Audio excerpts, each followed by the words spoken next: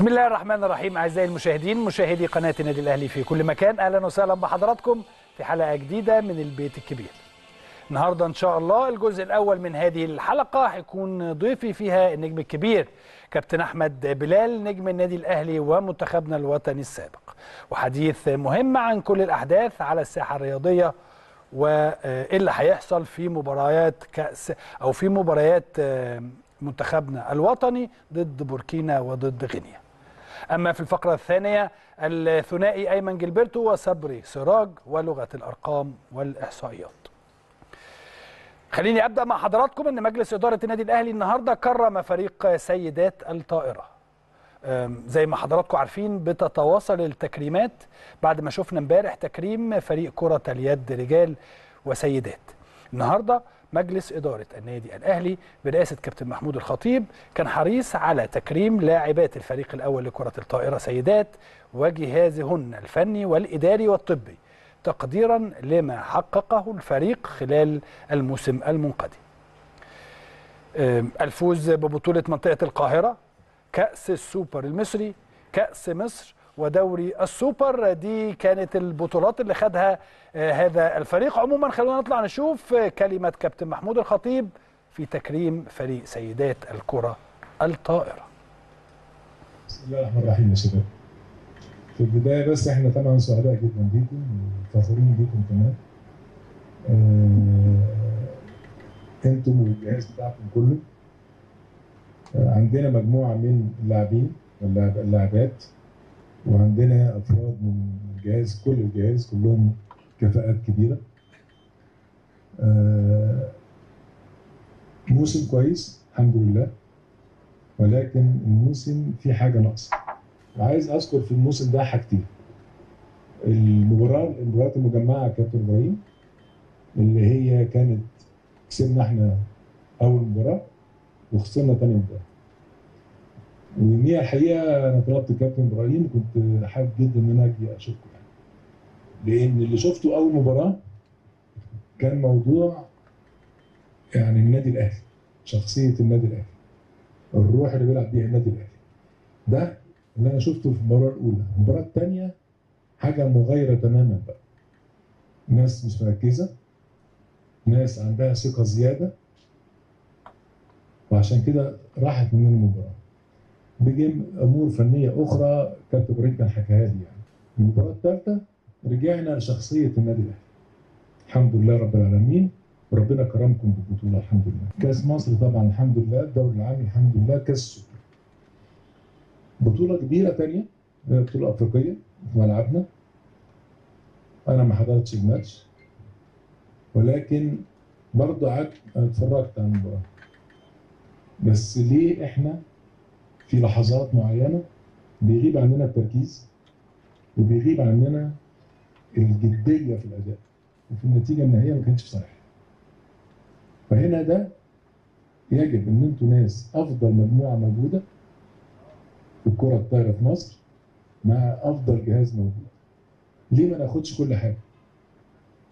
ما ناخدش كل حاجة لازم إحنا نراجع نفسينا على أساس دايما عاوزين تعملوا تاريخ ليكم وتاريخ لناديكم خلي الأمور كلها في منتهى الجديه طالما نزلت أرض الملعب لازم تبقى جد جدا ومركز جدا وعندك إصرار جدا. لازم هو ده عناصر الروح العالية وعناصر الفريق البطل. فريق البطل ليه عناصر. عناصر شخصياتكم لكن خلاص الحمد لله قدر الله ما شاء فعل.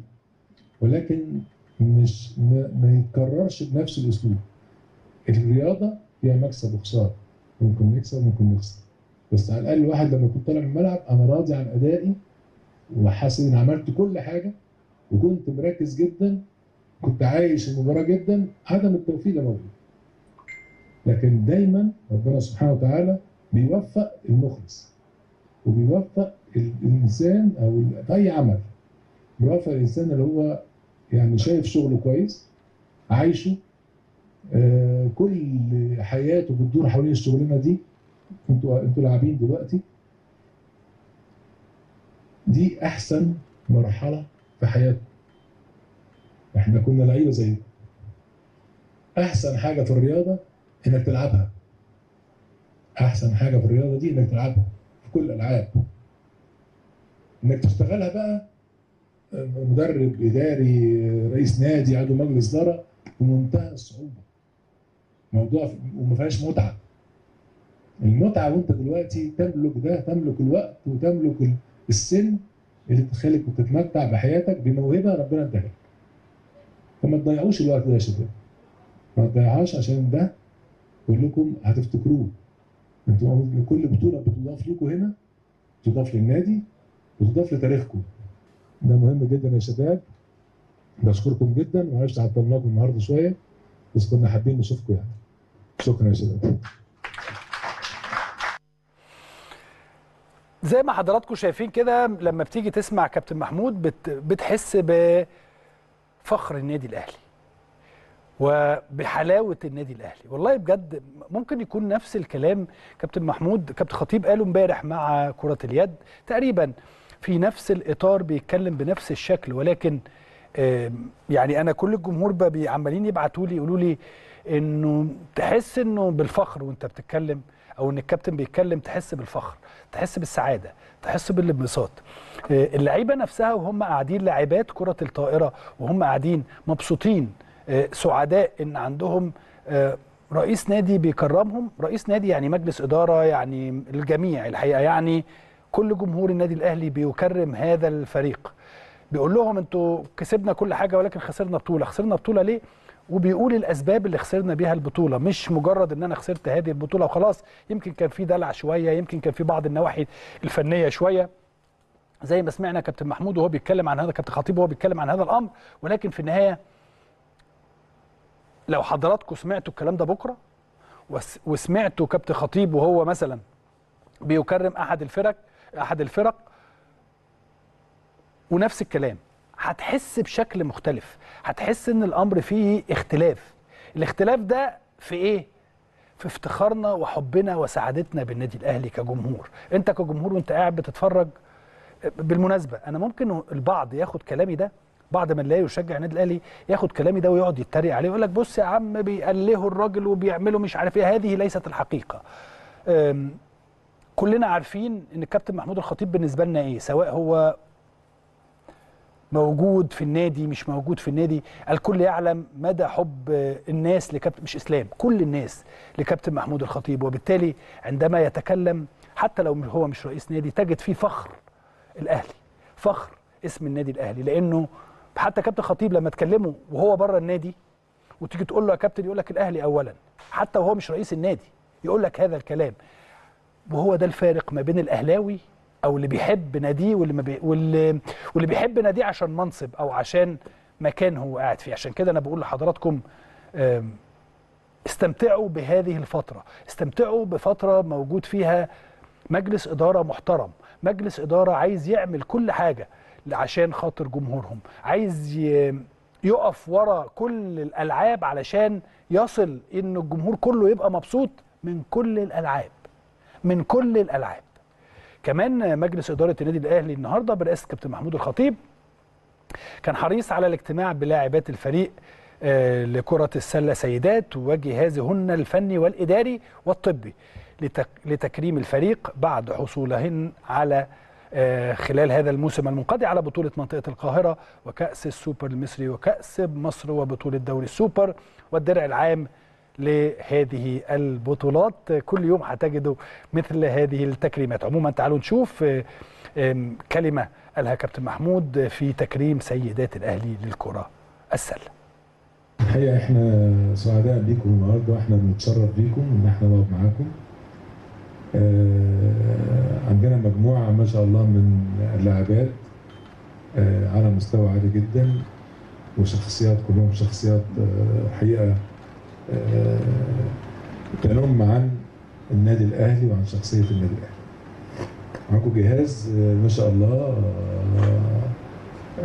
كفاءة عالية جدا ويمكن ملاحظتنا إحنا أو أنا إن أنا قعدت بتفرج يعني عليكم حاسس إن في زي هارموني كده بين الجهاز وبين الحمد لله لعبتنا يعني.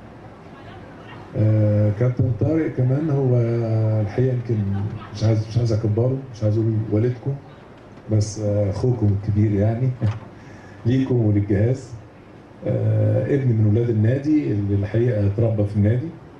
فعارف كل لحظة ممكن يقضيها في النادي يقضيها إزاي؟ ويقضيها لإضافة تاريخ ومجد. طالما نقدر نعمل كده. أنتوا مجموعة من اللاعبات الحمد لله على مستوى عالي جدا. وتملكوا إمكانيات كبيرة جدا والنادي بتاعكم بيملك إمكانيات كبيرة. جهازكم مستوى يعني مستوى الأول الموجود في مصر. وكمان برضه بيملك إمكانيات بشرية وإمكانيات فكرية غير الأمور الفنية كمان يعني.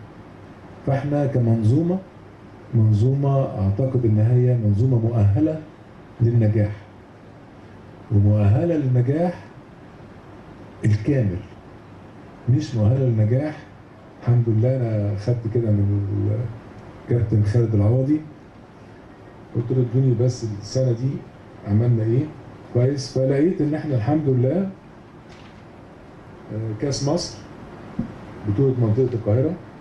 أعتقد إن دي تبقى فرق القاهرة بس كأس السوبر المصري دوري السوبر وخسرنا الدوري المرتبط طلعنا المركز الثاني أوكي سنة كويسة الحمد لله لكن مش كاملة. وأنتوا تقدروا تبقى السنة بالنسبة لكم كاملة. تركيزكم إصراركم التزامكم بالأمور الفنية علاقتكم أنتوا ببعض كمجموعة دي عناصر عناصر نجاح. تقدروا تعملوا ده. إذا كان راح مننا بطوله أنا زعلان عشانكم لأن البطولة دي كانت ممكن تكتب في تاريخ كل واحدة فيكم. الحمد لله سنة طيبة زي ما تقول جيدة بس إحنا كنا ممكن تبقى جيدة تبقى ممتازة يعني. الحمد لله على كل شيء. طب إحنا بقى هنعيش على المكسب اللي فات والسنة اللي فاتت ولا هننسى ده؟ وهنفكر في السنة الجديدة. لو أنتوا عشتوا على المكسب الحالي هتخسروا. لازم تفهموا الكلام ده كويس. ولا أنتوا تستحقوا ده ولا جمهوركم يستحق ده ولا ناديكم يستحق ده. فلازم ننسى اللي فات ده ما سبق ده خلاص انتهينا منه. وإحنا قاعدين عشان نشكركم ونقول لكم مبروك. وكمان أو نوصي أو كمان بس نلمس كده السنة الجاية سنة صعبة.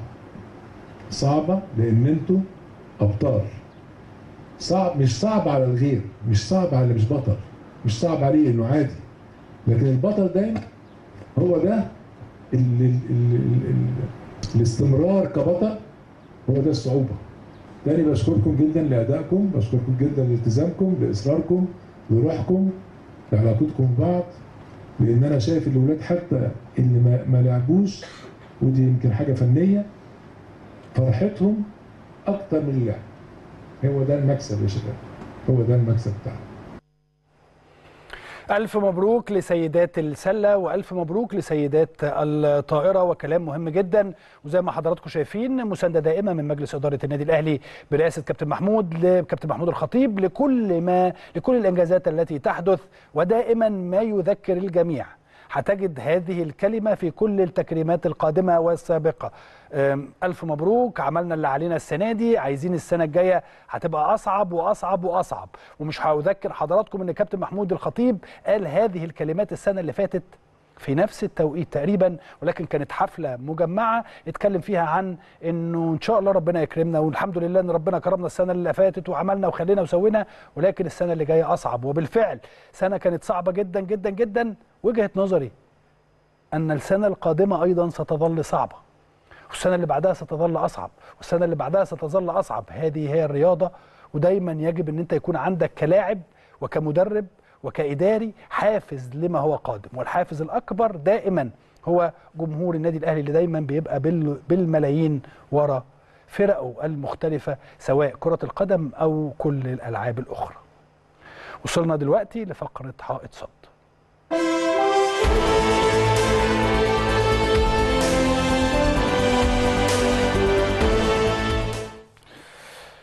النهارده فقرة حائط صد رجعت بس بعد غياب شوية. ماشي. هنتكلم فيها في كل الأمور اللي حضراتكم عايزين تتكلموا فيها ولكن خلوني بس أبدأ كلامي وكلام مهم جدا فيما يخص حلقة قفشة امبارح مع آه، إبراهيم فايق. كلنا عارفين إن قفشة واحد من اللاعبين اللي الناس كلها بتحبها بالمناسبة يعني سواء اللاعبين اللي موجودين معاه أو آه، كل المدربين اللي شاركوا فيه. كونه إن هو يقول إن أنا بحب مدرب ده طبيعي جدا. كلنا يعني لو حضرتك جيت سألت أي لاعب في العالم أنت بتحب مدرب هيقول لك أنا بحب مدرب الفلاني. محدش يعيبه هذا الكلام ده اولا. ثانيا وأنا هشرح لحضراتكم تحديدا اللي كان عايز يقوله قفشة. فيما يخص موضوع ال 90 و95% من الناس ما تعرفش آه، إيه التحليل اللي بين أو إيه ال- الكلام اللي بيننا وبين المدرب. الناس خدت الكلام ده على إن قفشة بيقول هذا الكلام علشان آه، يعيب في آه، بعض الناس أو هذا لكن هذا الكلام غير صحيح. قفشة ما بيعيبش في في في قطة. قفشة كان قصده في هذا الأمر هو الآتي. قفشه كان يقصد إنه محدش يعرف الأمور التكتيكية جوه الفرقة غير الفريق أو ال 30 35 لاعب والمدرب لأنه الموضوع ده بيبقى دايما ما بين المدرب واللاعبين. فقفشه لما يتكلم قالك 90 أو 95% ما يعرفش اللي بيحصل ما بين المدرب واللعيبه الناس بتقيم على أساس المباراة فقط لكن أو على أساس الماتش اللي أنا بلعبه بس ولكن آم، الحقيقي إن ما يعرفوش إن المدرب قال لي إيه؟ قال لي هل أنا بدافع؟ هل أنا بهاجم هل أنا أقف في الحتة دي؟ أقف في الحتة دي. قال لي 90 95% من الناس ما يعرفش اللي دار ما بين المدرب واللاعبين. هو ده قصد قفشة لكن هو مش قصده إن هو يعيب في حد. أنا بس حبيت إن أنا أشرح ال- النقطة دي تحديدا لأن هي النقطة اللي كانت أكثر جدلا في كلام قفشة امبارح. آه، هل هي حقيقة؟ هو في حد يعرف إيه الكلام اللي بيدور ما بين المدرب واللاعبين؟ محدش يعرف. أنا راجل بلاش أنا. مارادونا الله يرحمه لا يعرف إيه اللي دار ما بين منتخب الأرجنتين والمدرب بتاعهم وهو قاعد بيتفرج؟ لا طبعا. ممكن جدا المدرب يكون إدى تعليمات لا أحد يعلمها غير اللاعب واللاعبين اللي معاه. بس هو ده كان قصده من الناحية التكتيكية وعلاقة المدرب باللاعبين. ده كان قصد قفشة في هذا الأمر. أنا بس حبيت إن أنا أشرحه لحضراتكم. طيب بسرعة جدا. رجعنا فقرة حائط صدر. ليه- رجعنا فقرة حائط صدر؟ لأنه اللي بيحصل على الساحة الرياضية خلال الفترة ديت هو أمر غير مقبول. الموضوع زاد عن حده. بالرغم من إن الأجواء الرائعة في الفترة الأخيرة إلا إن الناس دايما بتعمل أزمة. وبتحب تعمل أزمات وتثير الفتن. من المفترض إن الناس يكون عندها مسؤولية. الفترة دي منتخبنا عنده مهمة وطنية. لازم الناس كلها تركز مع المنتخب اللي عنده مباراتين في غاية الأهمية وفي غاية الصعوبه طيب الإعلام الرياضي مركز في إيه؟ الإعلام الرياضي مش مركز في حاجة غير لعيبة الأهلي وكل واحد طالع يزايد على اللعيبه وكل واحد بيهاجم نجوم النادي الأهلي. والحقيقة أنا بشوف إن ده مش مسموح. وإحنا قناة النادي الأهلي لغاية لما الواحد يمشي من هذا المكان دائما هنكون حائط صد ضد أي هجوم على لعيبة النادي الأهلي. وبنقول لأصحاب الترندات الناس بقت فاهمة وعارفة أنتوا بتعملوا كده ليه؟ وعشان إيه؟ لأنه واحد من غير كلامكم على لعيبة النادي الأهلي مفيش حد هيتفرج عليكم أصلا. ومحدش فيكم هيشتغل في أي فضائية. الشلة اللي إحنا دايما بنتكلم عنها الهجاص والمطرود وغيرهم هيقعدوا في بيوتهم ويقعدوا يألفوا قصص. لازم يقعد يألف قصص وحكايات من وحي الخيال. والله من وحي الخيال. مرة قال لك قفشة لم شنطته والراجل طلع نفى هذا الكلام امبارح. مرة قال لك الشناوي وشوبير مسكوا في خناق بعض مرة قال لك أصل إمام وكهربا مش عارف عملوا إيه مع بعض يا جماعة هل الكلام ده من الطبيعي إن إحنا نسمعه ونسكت؟ في م- مباراة نهائي دوري أبطال إفريقيا جميع خبراء التحكيم في تونس قبل مصر أكدوا عدم أحقية الترجي في أي ركلة جزاء سواء الكرة اللي لمست اللي بيتقال إن هي لمست إيد آه، إمام عاشور أو الكرة الثانية بتاعت كريم فؤاد اللي بيتقال إن هو عرقل اللاعب. لكن الناس كلها أجمعت سواء في تونس أو في مصر أو تونس قبل مصر إن لعيبه هناك لاعب من الترجي آه، أوهولو على ما أعتقد كان يستحق الطرد في آه، آه، الكرة اللي تدخل فيها مع مروان عطية. ولكن الهجاص والمطرود عكس الناس. وزي ما قلت لحضراتكم هما دائما ما بيمشوا عكس الاتجاه لأنه بيحاولوا يدافعوا عن حقوق وهمية للترجي.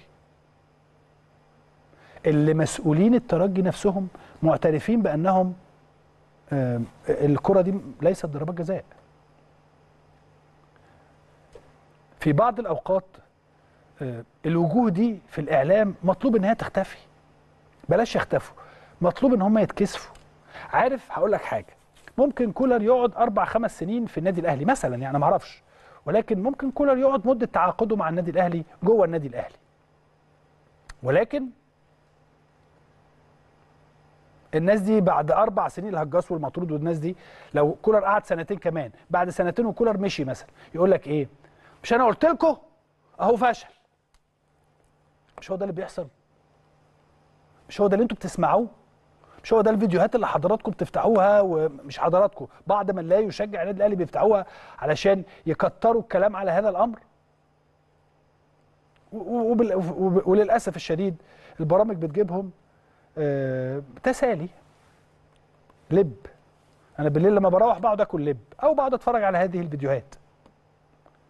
لأنه اللي بيتقال من حق أي حد مرة تانية وثالثه وعشرة ومليون يتكلم عن النادي الأهلي أو ينتقد أداء النادي الأهلي ينتقد كلمة اتقالت ينتقد حد حاجة من مجلس الإدارة ينتقد قرار ينتقد كل واحد حر.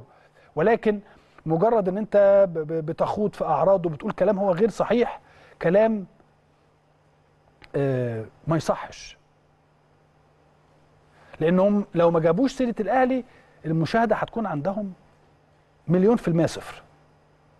جماهير الأهلي عارفينهم حافظينهم حافظين الهجاص حافظين المطرود حاف- حافظين الهجس بتاعهم حافظين اللي اتطرد اتطرد من الأهلي ليه معروف إنه حاقد ليه وكان نفسه يرجع والحمد لله ما عندناش مثل هذه الأمور ولكن عدم رجوعه ورفضه اترفض لسلوكه المعروف اللي بسببه اتطرد من ناشئين النادي الأهلي وأنا هنا ما بقولش سر. حضراتكم مهما قلتوا أو اتكلمتوا كالعادة كالعدم كالعادة كالعدم. لا وجود لكم. من فضلكم حاولوا تواكبوا الأحداث حاولوا تتكلموا إعلام حاولوا تتكلموا عن يعني إيه كلمة إعلام. أنا أنا واحد من الناس بقرأ كتير جدا جدا جدا في هذا الأمر علشان أعرف إيه اللي بيحصل. لما تروح تاخد دبلومة في الإعلام أو اعمل كده على فكرة. اعمل وحاول تشوف وحاول تتعلم. مش عيب على فكرة كلنا عملنا كده وعملنا وبنعمل. أيضا إعلامي شغال في قناة عامة ومعروف متحدث رسمي لنادي آه، منافس وشغال هجوم على كهرباء. وفي المقابل بيدافع عن ناديه. أنا قلت لحضراتكم امبارح هل حضراتكم عمركم سمعتوا؟ أستاذ شريف فؤاد المتحدث الرسمي باسم مجلس إدارة النادي الأهلي طالع يعيب في حد من لعيبة نادي الزمالك؟ مثلا نادي الزمالك أو نادي بيراميدز أو نادي الإسماعيلي أو أي نادي؟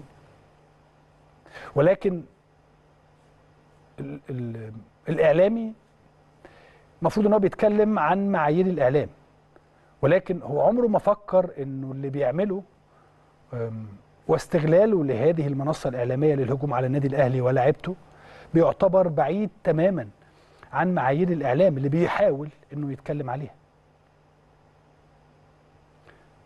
من المفترض آه، هتقولي ما أنت بتتكلم أنا بتكلم هنا داخل قناة النادي الأهلي. ومن حقي إن أنا أدافع عن كل لعيبة النادي الأهلي وأدافع بالطريقة التي تناسب النادي الأهلي وأدافع عن جمهور النادي الأهلي وأدافع عن كل ما يخص النادي الأهلي. لكن حضرتك فين الحيادية والموضوعية آه، في الكلام؟ فمثلا هذا الإعلامي عمرنا ما شفناه طلع يتكلم عن سلوك خطأ حصل من لاعبي أندية منافسة. وكأنه مش شايف غير النادي الأهلي. ولاعيبته طبعا. وزي ما حضراتكم عارفين السبب معروف ومفهوم. جماعة أتمنى إن إحنا نعدي هذه المرحلة. هذه المرحلة هي مرحلة آه، المرحلة السابقة نعديها يعني. ودخلنا دائما في مرحلة الاحترام والود ما بين مجالس إدارات الأندية بمختلف انتماءاتنا. لما بنطلع نتكلم بنطلع نتكلم بمنتهى قد يكون هناك نقد عادي جدا مفيش مشكلة ولكن بمنتهى الاحترام وبمنتهى الأدب. ليه بندخل الأمور في بعض؟ ليه بنرجع أو ليه بنرجع الناس عشر خطوات أو عشرين خطوة ورا؟ بالعكس جمهور النادي الأهلي وكل الجماهير المصرية آه، على وفاق تام زي ما قلت لحضراتكم امبارح الحاجات اللطيفة دي بتعدي. ولكن آه، مثل هؤلاء هم اللي بيعملوا الفتن. وبيثيروا الفتن.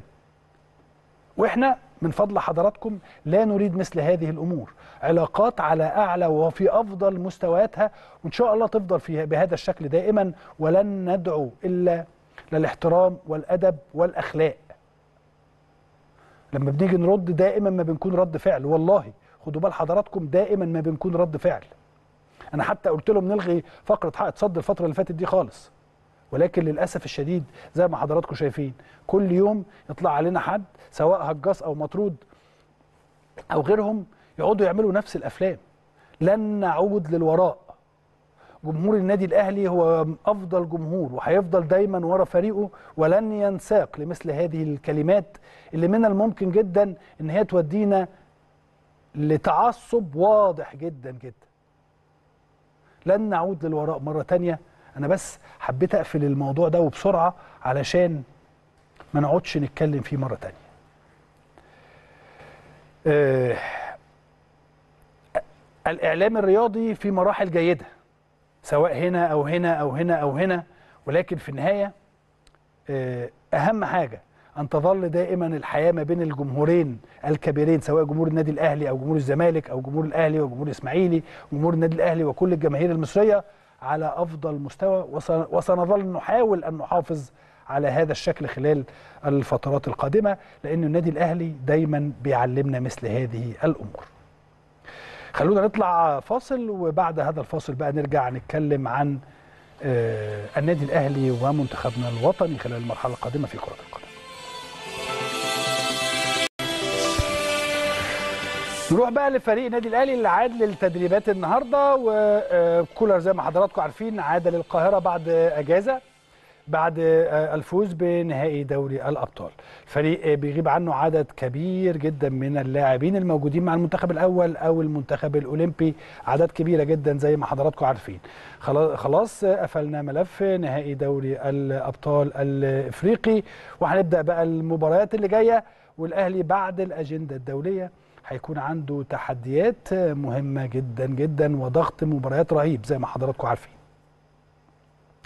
آه، خلال الفترة الحالية كولر قرر تصعيد عدد من الناشئين لتعويض غياب اللاعبين الدوليين وزي ما إحنا عارفين إن الأهلي آه، بيستعد لمواجهة فاركو في السابعة مساء الجمعة 14 يونيو باستاد آه، برج العرب بالإسكندرية في اللقاء المؤجل من الجولة ال11 لمسابقة الدوري المصري.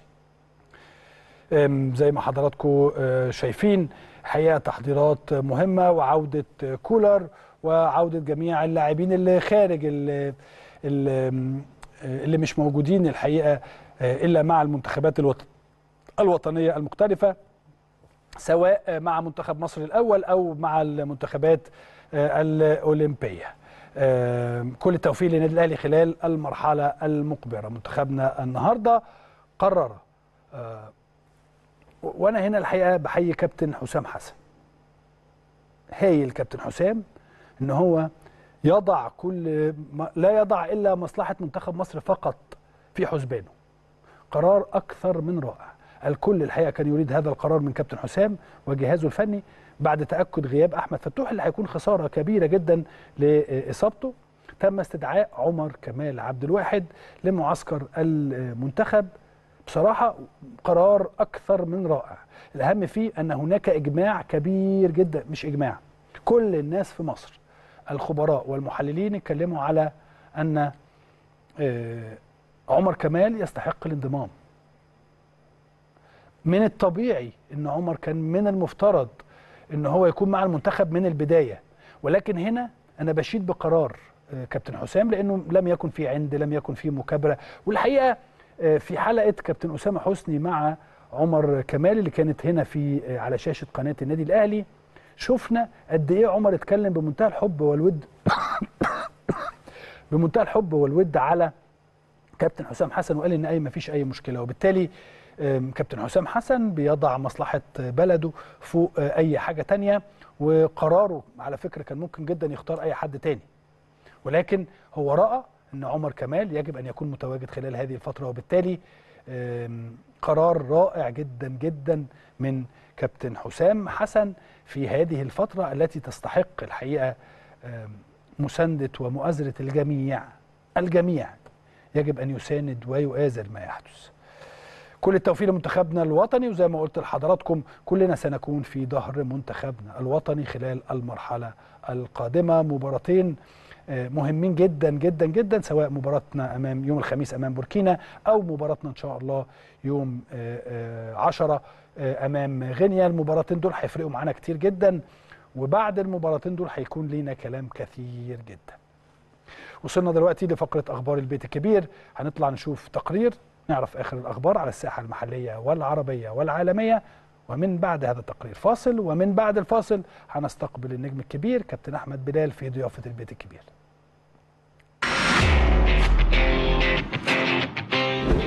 حرص مجلس إدارة النادي الأهلي برئاسة الكابتن محمود الخطيب على تكريم فريق كرة اليد رجال والجهاز الفني والإداري والطبي تقديرا لما تحقق من نجاحات خلال الموسم المنقضي وأعرب الكابتن محمود الخطيب عن تقدير مجلس الإدارة لما قدمه الفريق على مدار موسم كامل نجح خلاله الجميع في تشريف النادي محليا وقاريا. كما حرص مجلس إدارة النادي الأهلي برئاسة الكابتن محمود الخطيب على تكريم لاعبات فريق كرة الطائرة السيدات وجهازهن الفني والإداري والطبي تقديرا لما حققه الفريق خلال الموسم المنقضي. مؤكدا أن الفريق يضم عناصر هي الأفضل في مصر بشكل عام ويجب الاجتهاد وتقديم كل ما يمكن بجد وتركيز حتى آخر لحظة وأن المسؤولية كبيرة وصعبة على الجميع خلال الفترة المقبلة. استأنف المارد الأحمر أول تدريباته بعد الراحة السلبية التي منحها لهم الجهاز الفني عقب التتويج بلقب دوري أبطال إفريقيا خلال فترة التوقف الدولي. انطلقت التدريبات بغياب 12 لاعبا لارتباطهم مع منتخباتنا الوطنية وينتظر المدرب السويسري مارسيل كولر ولاعبوه مهمة جديدة في الدوري المصري من أجل الحفاظ على اللقب. قرر الجهاز الفني لمنتخبنا الوطني بقيادة حسام حسن وإبراهيم حسن مدير المنتخب استدعاء عمر كمال عبد الواحد لمعسكر المنتخب استعدادا لمباراتي بوركينا فاسو وغينيا بيساو بدلا من أحمد فتوح. الذي تعرض لإصابة في الكاحل منعته من استكمال معسكر المنتخب الوطني في ظل صعوبة لحاقه بالمواجهتين المقبلتين. تواصل بعثة المنتخب الفلسطيني الشقيق تحضيراتها في العاصمة القطرية الدوحة استعدادا للقاء المنتخب اللبناني يوم الجمعة القادم في إطار الجولة الخامسة من التصفيات الأسيوية المزدوجة وشهدت القائمة تواجد وسام أبو علي لاعب الأهلي. كشف تقرير صحفي أن نادي النصر السعودي يسعى بقوة للتعاقد مع البرازيلي كاسيميرو لاعب وسط مانشستر يونايتد الإنجليزي. وبحسب موقع Caught Offside المهتم بأخبار الانتقالات فإن الفريق السعودي رصد ميزانية تتراوح بين 90 و 100 مليون يورو لضم اللاعب. أعلن نادي تشيلسي الإنجليزي رسميا تعيين مدرب الإيطالي أنزو ماريسكا مديرا فنيا جديدا للبلوز خلفا للمدرب الأرجنتيني ماوريسيو بوكيتينو. الذي تمت إقالته قبل موسم على نهاية عقده الممتد حتى يونيو 2025 وأن إنزو ماريسكا سيبدأ منصبه الجديد في الأول من يوليو 2024 بعقد يمتد لخمس سنوات مع خيار النادي تمديد العقد لعام إضافي. توج البرازيلي فينسيوس جونيور نجم ريال مدريد بجائزة أفضل لاعب في دوري أبطال أوروبا الذي توج به فريقه يوم السبت الماضي على حساب بروسيا دورتموند. قدم المهاجم الشاب أداء مميزا مع ريال مدريد خلال البطولة حيث سجل ستة أهداف منها هدف في المباراة النهائية كما صنع خمسة أهداف بعدما شارك في عشر مباريات بمجموع 901 دقيقة. كشفت تقارير صحفية أن المدرب أنطونيو كونتي ووكلاء قاموا بإنهاء كافة المستندات والعقود مع إدارة نادي نابولي لمدة ثلاث سنوات قادمة. العقد تبلغ قيمته 7 ملايين يورو لكل موسم. وأضافت الصحيفة الإيطالية في تقريرها أنه من المقرر أن يتواجد كونتي في مقر تدريبات نابولي يوم غد الثلاثاء أو الأربعاء لتقديمه كمدير فني للفريق لبدء مهمته بشكل رسمي. كشفت تقارير صحفية برتغالية أن نادي بايرن ميونخ الألماني اتخذ أولى خطواته للتعاقد مع النجم البرتغالي برونو فرنانديز قائد نادي مانشستر يونايتد الإنجليزي في سوق الانتقالات الصيفية المقبلة. ويستعد العملاق البافاري لميركاتو صيفي هام تحت قيادة مدربه الجديد فينسنت كومباني حيث يبحث مع البايرن عن تعويض إخفاقات الموسم المنقضي الذي خرج منه الفريق الألماني دون ألقاب.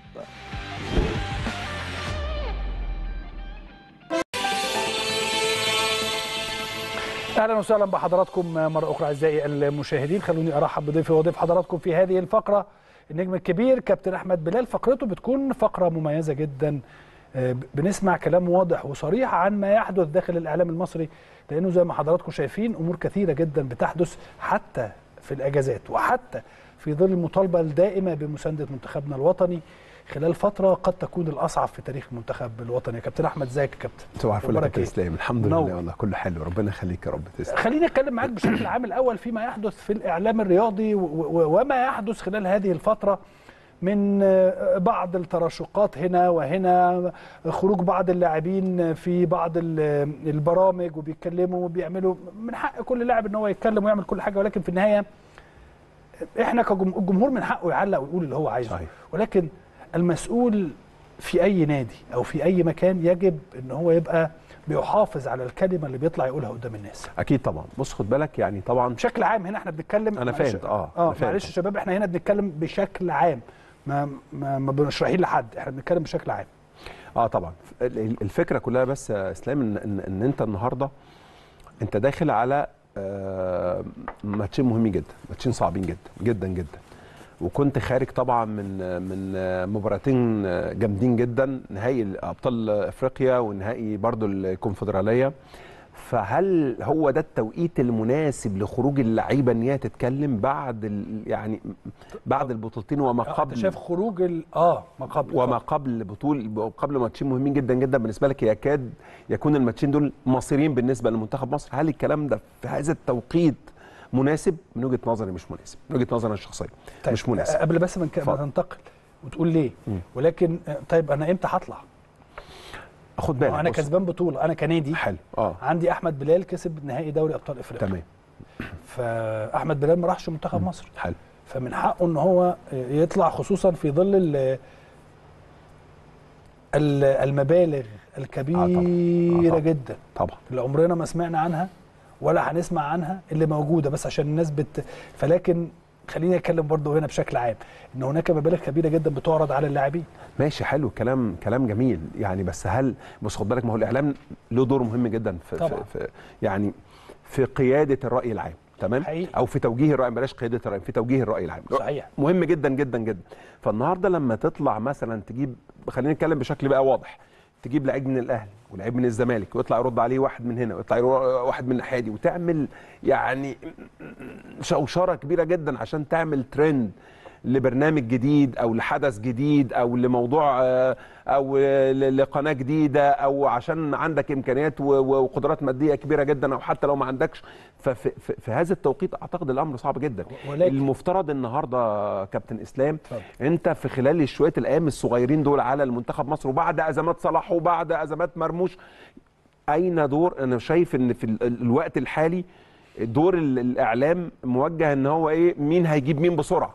تمام مين هيجيب مين يتكلم. الكلمتين بسرعة جدا خلي بالك لا. م- خد بالك أنا ما أقصدش حد بعينه بس أنا فاهم. شايف اليومين دول كده كل واحد آه. بيدور على مين النجم اللي ممكن نعمل بيه بلبلة في الوقت الحالي فيطلع يعمل ترند فالدنيا تفضل تتكلم ساعتين ثلاثة ولا يومين ثلاثة والله ونسقف ونهيص وبتاع ونشتم ون...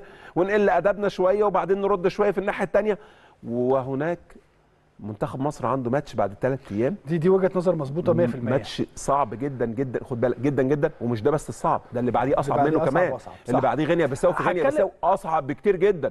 فأنت محتاج على على, على الأقل ما تتعادلش الماتش لأنك لو تعادلت الماتش بتاع بوركينا فاسو أعتقد إن أنت بنسبة كبيرة هتبقى بره هتكلم معاك في في المنتخب طبعا. لوحده.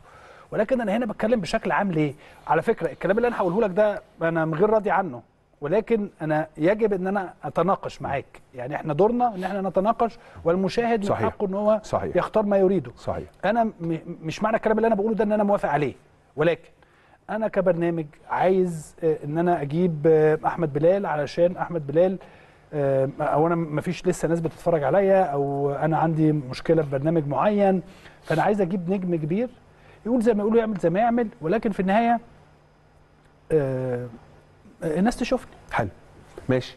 مرة تانية أنا مش ده دورنا ولا أنا موافق على هذا الكلام ولكن أنا لما بقول هذا الكلام للنقاش وللجمهور حق الاختيار. صح. بس التوقيت. التوقيت مهم جدا. آه من حقك إنك أنت يعني تعلو بالبرنامج بتاعك أو تروح بيه في حتة تانية أو أو مهما مهما كلفك الأمر أو مهما كنت هتدفع. وهي دي وأصبحت هي دي ال- ال- المادة الموجودة في الوقت الحالي. أنا بدفع قد إيه؟ فبالتالي هجيب أي حد. بدون أي زعل يعني بدون دخول بقى في تفاصيل لكن هي القصة كلها طالما طبعاً. أنا بدفع هجيب تمام؟ والناس بتستجيب ما فيش مشكلة خالص سواء اللي بيروح أو اللي بيحاول إن هو يستضيف. لكن أنا بكلمك في التوقيت ال- في التوقيت الحالي. مم. منتخب مصر عنده مشاكل كتيرة جدا تمام؟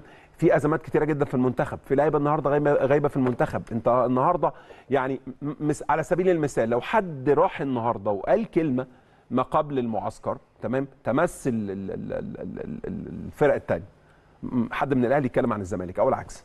خلينا نتكلم في كده. وراح ال- وراح معسكر منتخب. ما أنت كده هتعمل جاب ما بين اللعيبة وبعضها ولكن هتبقى في مشكلة كبيرة هنا جدا مسؤولية دي. الكلمة يا بلال. يعني إيه مسؤولية الكلمة؟ يعني ممكن أنت تكون أحمد بلال راجل آه، معتزل كرة قدم بقالك آه، 15 15 سنة أقل شوية أكتر شوية آم، رجل نجم آه، مريدينك ليك محبينك فأنت عندك هنا مسؤولية الكلمة. بمعنى آه، أنت لما بتطلع تتكلم لازم تبقى عارف أنت بتتكلم عن إيه وبتقول إيه. وأنا هنا بتكلم عن اللاعب والمقدم البرامج وحتى المسؤول في أي نادي لأنه أنت عندك ملايين المحبين والمريدين أكيد بس خد بالك ما هو أنا فلازم تبقى دورك إن أنت حلو عارف ماشي أنا ده أنت مش نجم لمجرد أنت طالع تتكلم خلاص وهل هو ده وهل ده الاعلام الرياضي في مصر؟ لا طبعا مع لا احترامي من يعني. المفترض إن إحنا نقول إن ده لا هو. لا، مش- الاتجاه. مع أو-. أو هو ده خد الإعلام اللي أنا بالك، لا قريته. مش اللي أنت قريته واللي آه. سمعنا عنه في الكتب آه. واللي, واللي حدثونا عنه كتير قبل كده أوكي ده ده إحنا عارفينه كله إنما النهارده ال- الإعلام الرياضي في الوقت الحالي مش هو ده؟ الإعلام الرياضي في بيعتمد على الإثارة هو, طبعاً. هو طبعا. بحثا عن الإثارة بحثا عن الترند. أنت النهارده أنا عايز أقول لك على حاجة. أنت النهارده لما تيجي تقول وجهة نظرك بكل صراحة يعني لما تيجي أقول مثلا والله ده فلان ده ما ينفعش يلعب أو بلاش ما ينفعش يلعب. فلان ده ما كانش من المفترض إنه يلعب النهارده أو مش أصلح. لا لل- بالعكس. في الناحية الفنية على فكرة في الناحية الفنية أنت صح وأنا صح حتى لو إحنا مختلفين. ماشي بس لحين إثبات خد بالك, ما هو الناس بت بتعلق وتجيب حد تاني يعلق على, على كلامك. آه ويتخانقوا. آه فيقول لك إيه الحق فلان قال إن فلان ما ينفعش. بص عشان أهلاوي. يا عم مش الفكرة مش فكرة أهلاوي. الفكرة بص الفكرة في مصر. أنا النهارده ممكن يبقى في ناس بتشتغل في ال في ال في الاناليسز مثلا أو ال- تحليل. التحليل. حلو؟ فتيجي تجيب ناس مخصصة في الحاجات الرقمية فيتكلموا. حلو. اتكلم زي ما أنت عايز. لكن ما ينفعش النهارده تجيب واحد أنا مثلا وإسلام لعبنا كورة ع- 15 20 سنة. تمام لعبنا منتخب مصر ولعبنا فرق وخدنا بطولات وبتاع وتيجي واحد تجيب واحد أنا آسف يعني ما اشتغلش الشغلانه يعلق على على الكلام بتاعنا الفني ويقول لك لا أنا الكلام ده ما عجبنيش؟ وده بيحصل في الإعلام المصري للأسف الشديد في بعض الأوقات مش في كل الأوقات طبعا ومع بعض الناس مش مع كل الناس. تجيب حد ي- ي- يبدي لك بقى تعليقه الفني على تع... على تعليقك الفني انت كلاعب أو على وجهة نظرك الشخصيه اللي هو عايز يحجر على وجهة نظرك الشخصية. انت كلعيب برغم من برغم من يعني كل الماتشات وكل الخبرات اللي لعبتها وكل الدروس اللي, اللي أخدتها من المدربين وكل المحاضرات اللي اشتغلت فيها وكل التدريبات اللي انت وكل الساعات اللي قضيتها في الكورة وتقول وجهة نظر فنية انت أيوة، يعني عليك. تقول وجهة النظر الفنية الحقيقية اللي انت عشتها ومع ذلك يجي واحد تاني يجيب لك واحد بس يقول لك هقول لك حاجة. أصل الكابتن إسلام قال كذا كذا لا لا الكلام ده مش صح يا ابني انت انت okay أنا أنا أنا معاك في هذه النقطة ولكن برضو خلي بالك أنا دايما أقول هذه الكلمة ما أعرفش هي صح ولا غلط لكن هي بالنسبة لي أنا صح. إن إحنا الاثنين ممكن نختلف حضرتك تختلف في وجهة نظر فنية. صحيح. بمعنى إن أنت تقول إنه نادي X ده آه، آه، بيلعب بطريقة 4 2 3 1 أنا أقول لك لا ده بيلعب بطريقة 4 3 3 حلو. إحنا الاثنين صح على فكرة. إزاي إحنا الاثنين صح؟ لأنه كل واحد بيقولها من منظوره صح. من من رؤيته ال 20 30 سنة اللي لعبهم واللي سمع والكلام اللي أنت قلته ده كله. فانت أنا عشان كده ما عنديش مشكلة ان حد يطلع ينتقد اداء فريق ولكن ما حدش يطلع يقول لك إيه أصله أحمد بلال ما عندوش فكرة. بالظبط.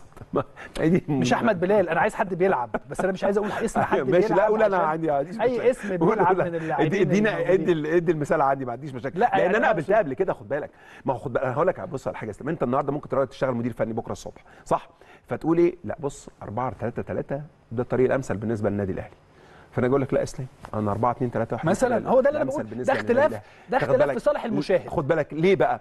أنا إسلام ممكن يكون شايف إن هو بيحب يتحفظ شوية دفاعيا الله ينور تمام؟ عليك. أنا بحب أجازف هجومية. آه. تمام؟ في واحد غيرنا تالي يقول لك لا أنا هلعب zone defense هلعب 4 5 1 تمام؟ الثلاث طرق مظبوطين. تمام؟ لكن كون إن أنت تطلع تقول إيه؟ لا ده إسلام ما عندوش فكرة. ده عايز يلعب 4 3 3 آه. لا أنا مش أنت معاك. فاهم؟ ما هو ده اللي بيحصل. ولكن أنت تقصد هنا ان أن هناك البعض في هناك البعض. هناك البعض.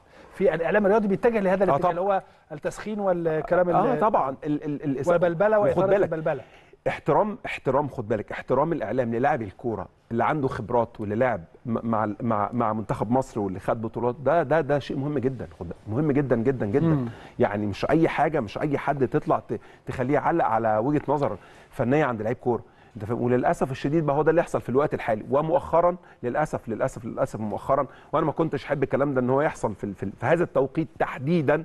لأن أنت النهارده بص بتدي مادة للناس ت- تقعد تتكلم كتير جدا جدا جدا جدا في في في. خصوصا إنه ف- قبل قبل بس بتكمل خصوصا إنه هنا تحديدا شفنا أن مجلس إدارة النادي الأهلي برئاسة كابتن خطيب خد آه، كابتن خطيب خد الناس كلها وراحوا زاروا نادي الزمالك. كابتن حسين لبيب نفس الكلام. وبالتالي هنا برقية التهنئة من الأهلي للزمالك. ما- شفناش تمام. الحاجات دي. برقية التهنئة من الزمالك للأهلي. ما شفناش الحاجات دي بقالنا كتير.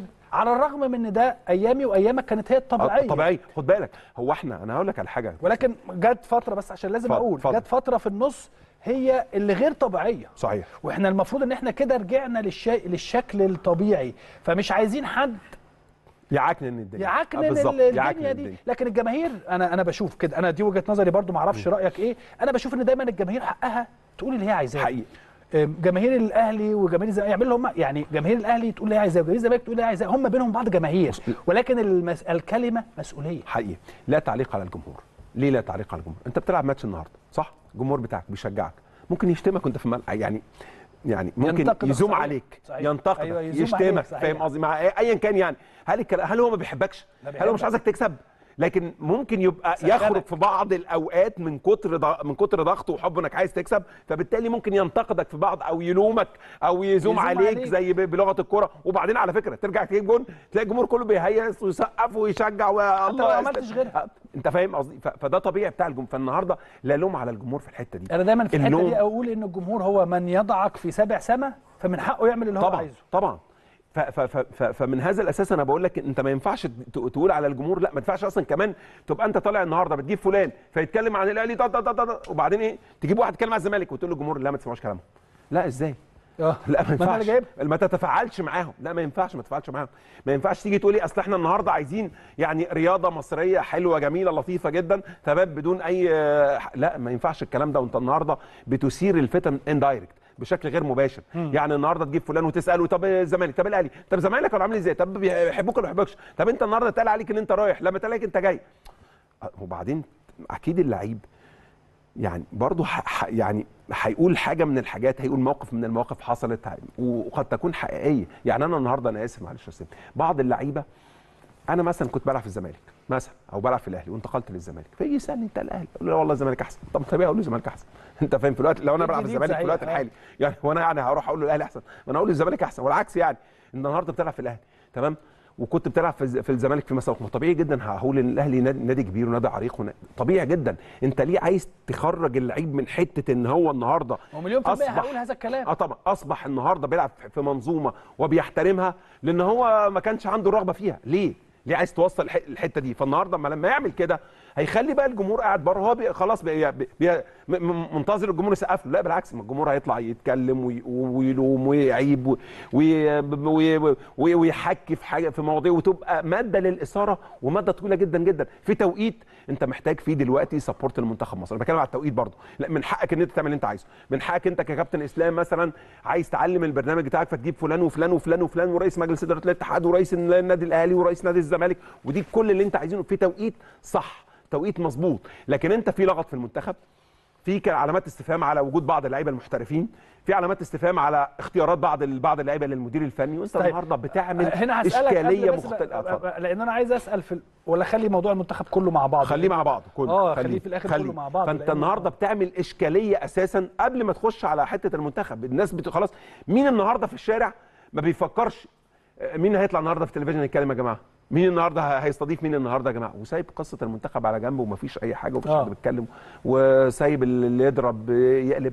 فين ال... فين منتخب مصر فين في؟ مباراة مصرية بعد ثلاث أيام؟ النهارده ثلاثة مباراة مصرية بعد ثلاث أيام. فين ال support في الحتة دي؟ آه فاضل فين؟ ثلاث وأربع والماتش مفيش الخميس. والماتش الخميس.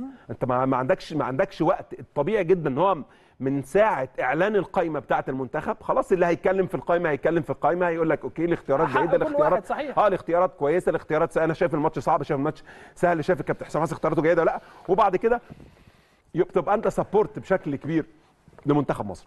حقيقي. لكن إلى الآن إحنا كلنا منتظرين مين هيتكلم عن الأهلي ومين هيتكلم عن الزمالك. النهارده بتجي لنا فيديوهات فلان قال عن الأهلي مش عارف فلان قال عن الزمالك مش عارف إيه. مش ليس هذا التوقيت.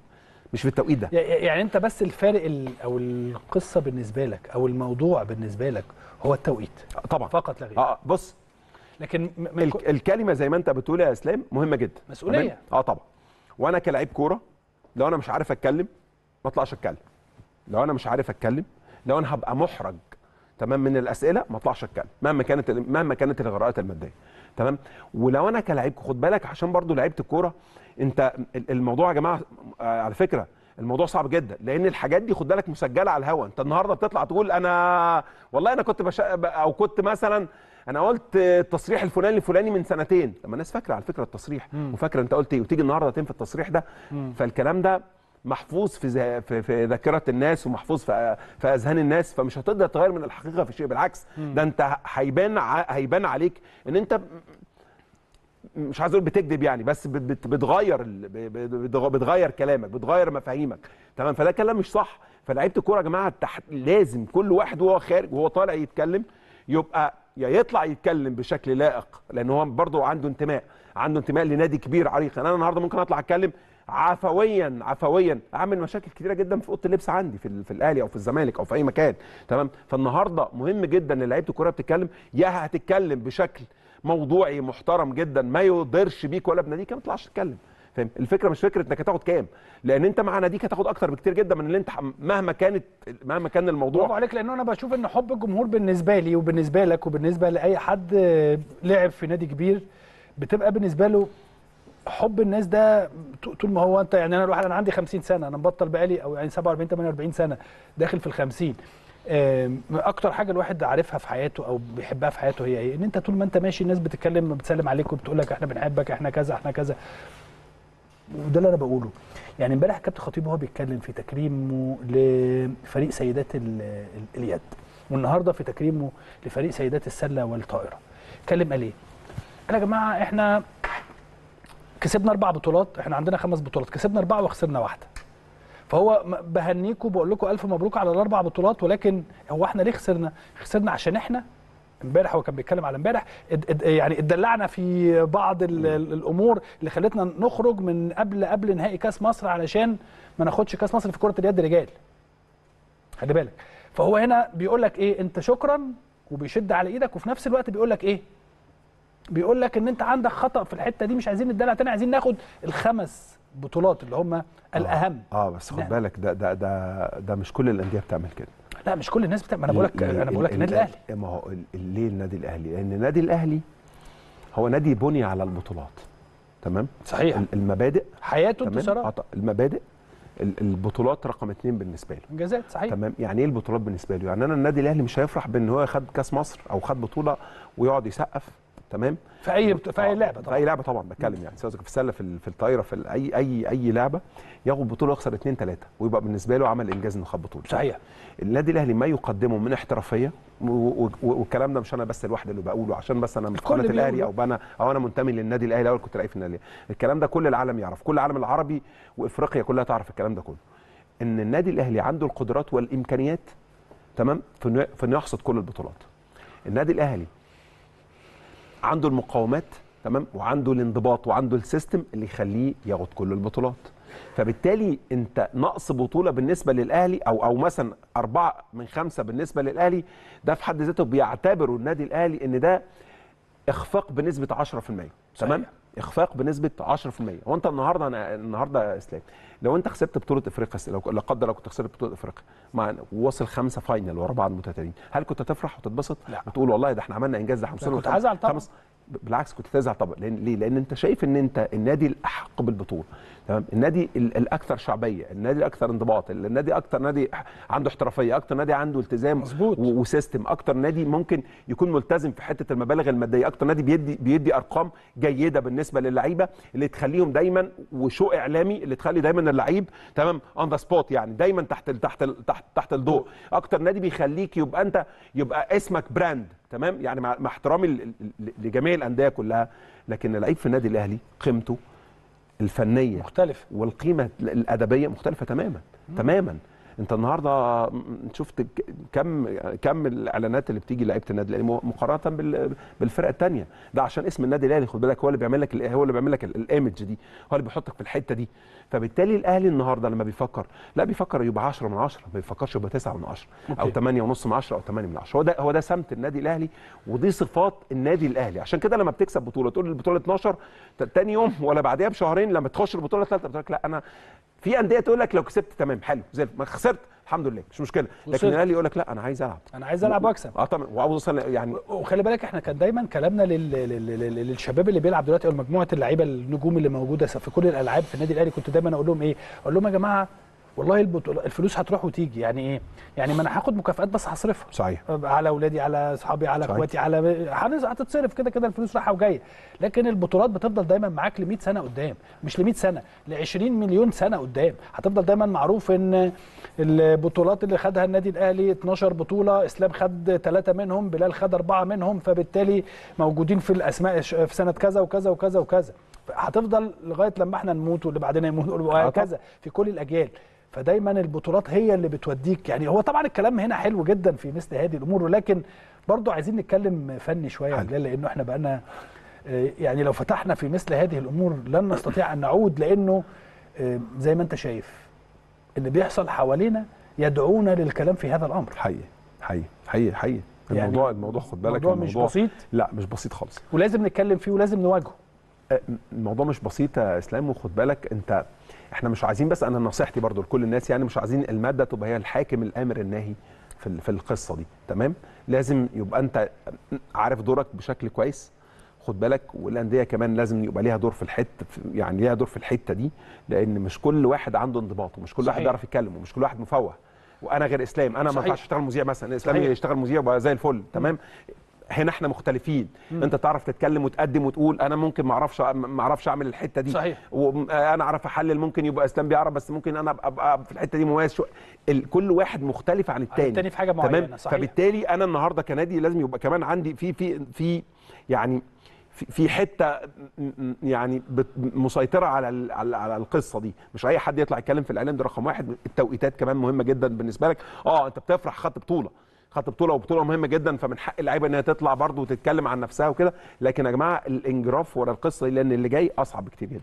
اللي جاي أصعب بكتير فما ينفعش تبقى المادة هي الحاكم الآمر النهي في قصة إنك أنت تطلع في الإعلام إمتى وتطلع تقول إيه.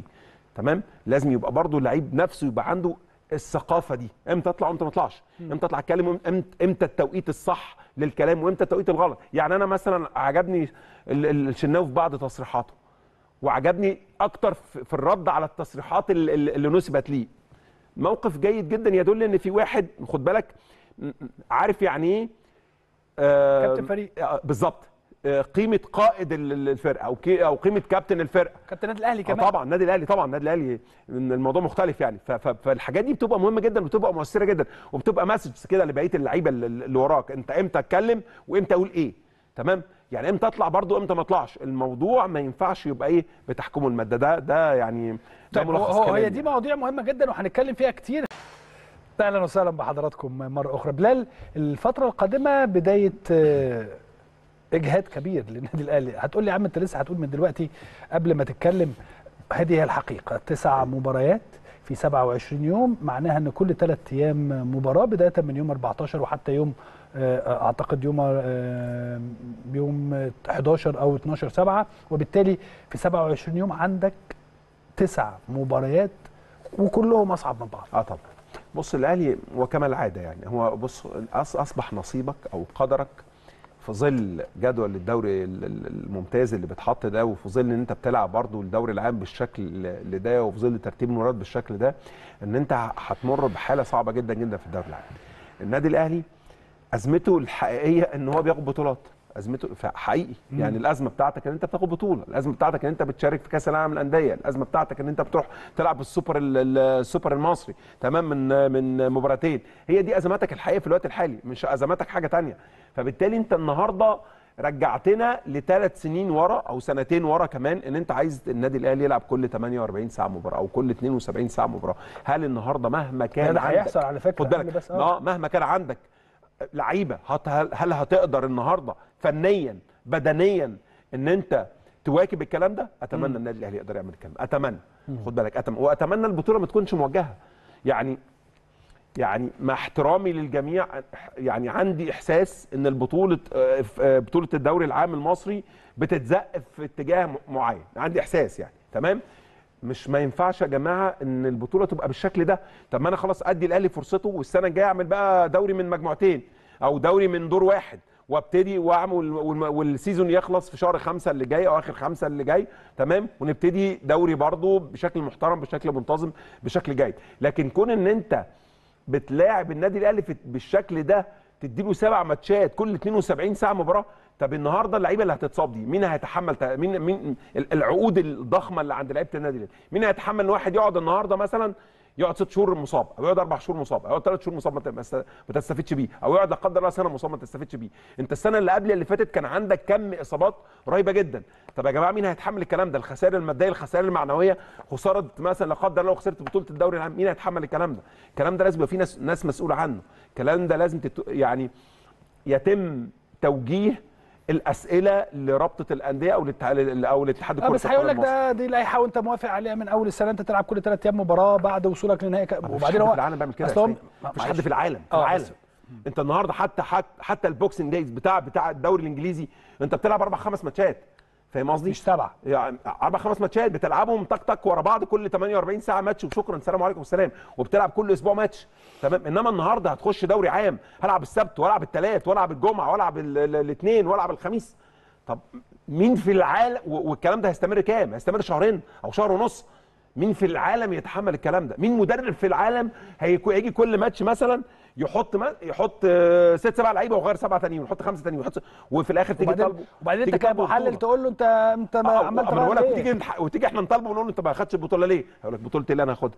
يخلص على اللعيبة اللي موجودة دي آه. ويتعوروا ويتصابوا وتفقد القيمة المادية بتاعتهم القيمه المعنويه القيمة المعنوية بتاعتهم. يا إما خلاص يبقى انت ما تسألنيش على دوري عام أو ما تسألنيش على على على بطولة أو ما تسألنيش على على انتصارات متتالية. صحيح. ما هو يا كده يا كده. تمام؟ فما فيش في العالم كله بيحصل في اللي بيحصل في الدوري المصري ده موط الدوري شوية تمام؟ الدوري الجديد تلعبه من دور واحد عشان وبعدين تبتدي السنة اللي بعدها. لا بس ده ده ده محتاج إن ده غير إن إحنا نتناقش فيه دلوقتي محتاج إن أنت تبقى تاخد موافقة على الأقل ال 18 نادي اللي أنت هت هتقول لهم إن أنت عايز تلعب دوري من دور واحد. بالتالي معظم الأندية كل نادي عنده sponsors بتاعه. النادي الأهلي مثلا عنده أكتر من سبعة ثمانية sponsors نادي الزمالك نادي الإسماعيلي كل الأندية. ماشي. طب يعني هل هل انت التلاحم الدوري بالشكل ده هل مفيد لكرة القدم المصرية؟ لا طبعا ما لا ما حدش بيقول إن هو مفيد ولكن كيفية التغلب على هذا الأمر هل, هل مفيد أنت بالنسبة لك كنادي أهلي؟ لا النادي الأهلي هو أكثر ال- ال- المضرورين في هذا الأمر طبعا هو أنت السنة اللي قبل اللي فاتت واللي قبلها أنت أنت خسرت الدوري العام إزاي؟ كده بنفس الطريقة بنفس دي. الطريقة دي. بنفس الطريقة. آه. إن أنت كل 48 ساعة كل 72 ساعة بتلعب مباراة فبالتالي أنت مش لاحق كمان تعمل روتيشن هتعمل في بس هو دايما في أصل أنا 10 بتكلم- لعيبة. طبعا استحالة. مش معنى إن أنا بناقش الكابتن بلال إن أنا موافق على هذا الكلام ولكن أنا بناقشه لأنه ده أنا ناقشت كتير من أعضاء اتحاد كرة القدم والرابطة واتكلمنا في هذا الأمر. لما أجي أتكلم يقول لك يا كابتن ما هو ما هو لو النادي الأهلي ما كانش اللي وصل ونادي إكس اللي وصل ما كان هيحصل فيه كده. وصل فين؟ نهائي. نهائي إفريقيا؟ آه. طب ما هو بقى ما هو ما هو, ما هو الزمالك لعب ال- الكونفدرالية. هل الزمالك هيلعب تسع ماتشات متتالية؟ لا طب هل فرق الماتشات ما بين هل هل هل عدد الماتشات ما بين الأهلي والزمالك زي بعض؟ لا طبعا لا طبعا انت هتلعب تسع ماتشات متتالية ورا بعض هل. الزمالك هيلعب تسع ماتشات متتالية ورا بعض؟ أكيد لا مستحيل ما هو خد بالك انت النادي الأهلي راح لعب كأس عالم الانديه فخد فترة لا في حتتين في في ولا وراح لعب. السوبر ودوري. السوبر آه تمام السوبر المحلي ودوري السوبر المحلي والسوبر الإفريقي فخد فتره والسوبر ودوري. السوبر أيوه أنا بقول لك والسوبر. الإفريقي الدوري الدوري الإفريقي أو السوبر الإفريقي الدوري فخد الإفريقي، فخد فتره فخد هو مش هو ما كانش عنده راحات يعني هو ما كانش ده مريح السنة الجاية في بقى ال- الانتركونتيننتال والمش عارف إيه السنة الجاية آه بدل ب... أعتقد هتبقى يعني السنة الجاية بالتالي هتبقى أقل شوية لأن أقل. الانتر كونتيننتال هتتلعب ماتش عندك وماتش تاني هتطلع بره يعني مفيش دورة مجمعة هت... فهتاخد منك توقيت كبير ممكن تلعب آه. مباراة تلعب مباراة ولو كسبت تلعب مباراة تانية ولو كسبت تلعب. ال final مع مع 18. مع بطل أوروبا يعني ريال مدريد آه مع آه إن شاء الله بإذن الله تعالى وكمان أعتقد ما فيش السوبر الإفريقي السنة الجاية. أعتقد إن هم لغوا بطولة السوبر الإفريقي. لسه لم يتم تحديد يعني الأمر ولكن اللي أنا فاهمه يعني. إنه آه إنه لا سمعت غالبا يعني. كل الأمور هتبقى الأمور أهدى شوية السنة السنة الجاية. لكن أنت في السنة دي السنة تخلص إمتى؟ أنت بتتكلم نص ثمانية قايل الأهلي- الأهلي لعب كام ماتش. الاهلي لعب كام ماتش؟ تقريبا 15 ماتش حاجة كده. آه. وهيلعب تسعة هيخلص 12 7 طب والتسعة التانيين؟ هيخلصوا بعد 12 سنه نص 8 هيخلصهم إمتى تاني؟ نص تمانية. هتضطر تعمل بر... ما هي هتعمل نفس الموضوع. هترجع لنفس القصة. إنك هتلعب برضو. أنت ولسه عندك كأس مصر خد بالك ما تلعبش. لا، ما؟ تلعبش. وخ- وعندك آه، بطولة إفريقيا هتلعب الدوري الدور التمهيدي ولا؟ ده, الدور الدور التمهيدية جاية سبعة. داخلة. آه 8 أو ثمانية يعني أول ثمانية هتلعب الدور التمهيدي. فأنت كمان هتأجل الدوري العام. فهتخلص إمتى؟ انت هتخلص والناس الدوري السنة دي كمان سنتين. هتخلص و... و... والناس في... في أوروبا بتعمل اللي هو الراحة ما بين الاثنين ما بين الاتنين انت لو مدير يعني انت لو مكان كولر في مثل هذا التوقيت اديت للاعبين أسبوع وهو كان مصمم على هذا الأمر حتى فيما يخص اللاعبين اللي راحوا للمنتخب ال- ال- ال- الوطني. هو كان مصمم وكانت نقطة ال- ال- الخلاف ما بينه وما بين كابتن حسام إنه كولر عايز يدي اللعيبه وقت. آه وقت راحة ممكنة. وبالتالي بعد أسبوع راحة وعودة الأهلي للتدريبات. كيف تقيم الأمر خلال المرحلة القادمة؟ بس شيء جيد طبعا يبقى عندك راحات. بس أنت كام واحد في المنتخب في منتخب مصر من كتير، 10 من 11 النادي دلوقتي. أنت تقريبا التيم كله. يعني الفرقة كلها يعني معظم يعني استدعائهم آه، آه. بالظبط. معظم 80% من اللعيبة أو 70% من اللعيبة اللي بتلعب بشكل أساسي في منتخب مصر. فأنت النهارده مش هتستفيد من الراحات. بالعكس ده منتخب مصر هيلعب ماتشين برضه ورا بعض. وهترجع تلعب بطولة الدوري العام مرة ثانية يوم 15 فبالتالي أعتقد أنت يعني غير مستفيد من ال من ال من من قصة الراحات صحيح. بشكل بشكل عام يعني. جيد. أنت آه ممكن تستخدم بعض اللاعبين تمام؟ في التدوير اللي ممكن يكونوا ما راحوش منتخب مصر. يعني ممكن ده 100% على فكرة. آه خمس ست لعيبة مثلا أو سبع لعيبة مثلا ممكن تستخدمهم تدور بقى فيهم مع اللعيبة اللي راحت منتخب مصر. لكن أنت ال ال ال الكم الأكبر من اللعيبة الأساسية عندك هم بيلعبوا في المنتخب في الوقت الحالي. صحيح. فبالتالي مش هيستفيدوا من ال من من الراحات اللي أنت اديتها كمدير فني. وبعدين رايحين في ضغط أكبر. وبعدين في سفر تاني. وهترجع من السفر من غينيا بساو تلعب بطولة الدوري العام وتبتدي. فأنت النهارده أنت كم كم ككولر يعني أكيد الراجل بيضرب أخماس في أسداس يعني مش عارف إيه هيدير إيه؟ الموضوع بأني شكل تمام هل. يعني ح- هيغير هيثبت التشكيل. مهم إنك تثبت في بعض الأوقات لكن مش شرط تثبت طول الوقت. لأن أنت النهارده ممكن ألعب النهارده السبت وألعب الثلاث بنفس الفرقة تمام؟ مع تغيير بعض يعني عنصرين لكن هتلعب السبت اللي بعديه إزاي؟ بنفس اللعيبة. استحالة طبعا استحالة. استحالة, هتعرض للعيبة للإصابات وبالتالي هتخسر لعيب على على مدى على مدى بعيد. فهتحاول إن أنت تقلل من- فهتحاول تقلل من من كم المباريات اللي تدي اللعيبة. فده يبقى على المستوى الفني بتاعك. صحيح. فهيحصل مشكلة كبيرة جدا جدا للمدير الفني. يعني نتمنى نتمنى إن مستر كولر يبقى الحتة دي يقدر يوازن فيها. بس أنا ما أعتقدش ان بالشكل ده وبالطريقة دي يعني ممكن الأمور تمشي بشكل متميز يعني. نتمنى كل التوفيق للنادي الاهلي في هذا الأمر. خلينا نروح بقى نتكلم عن المنتخب الوطني ونشوف آخر استعدادات المنتخب الوطني في هذا التقرير ونرجع نكمل مع كابتن بلال.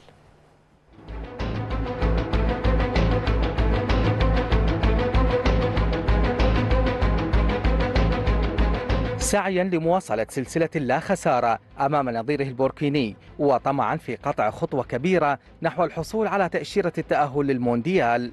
يواصل منتخبنا الوطني تحضيراته في معسكره التدريبي على استاد القاهرة لمواجهة نظيره البوركيني يوم الخميس المقبل ضمن منافسات الجولة الثالثة من التصفيات الإفريقية المؤهلة لكأس العالم.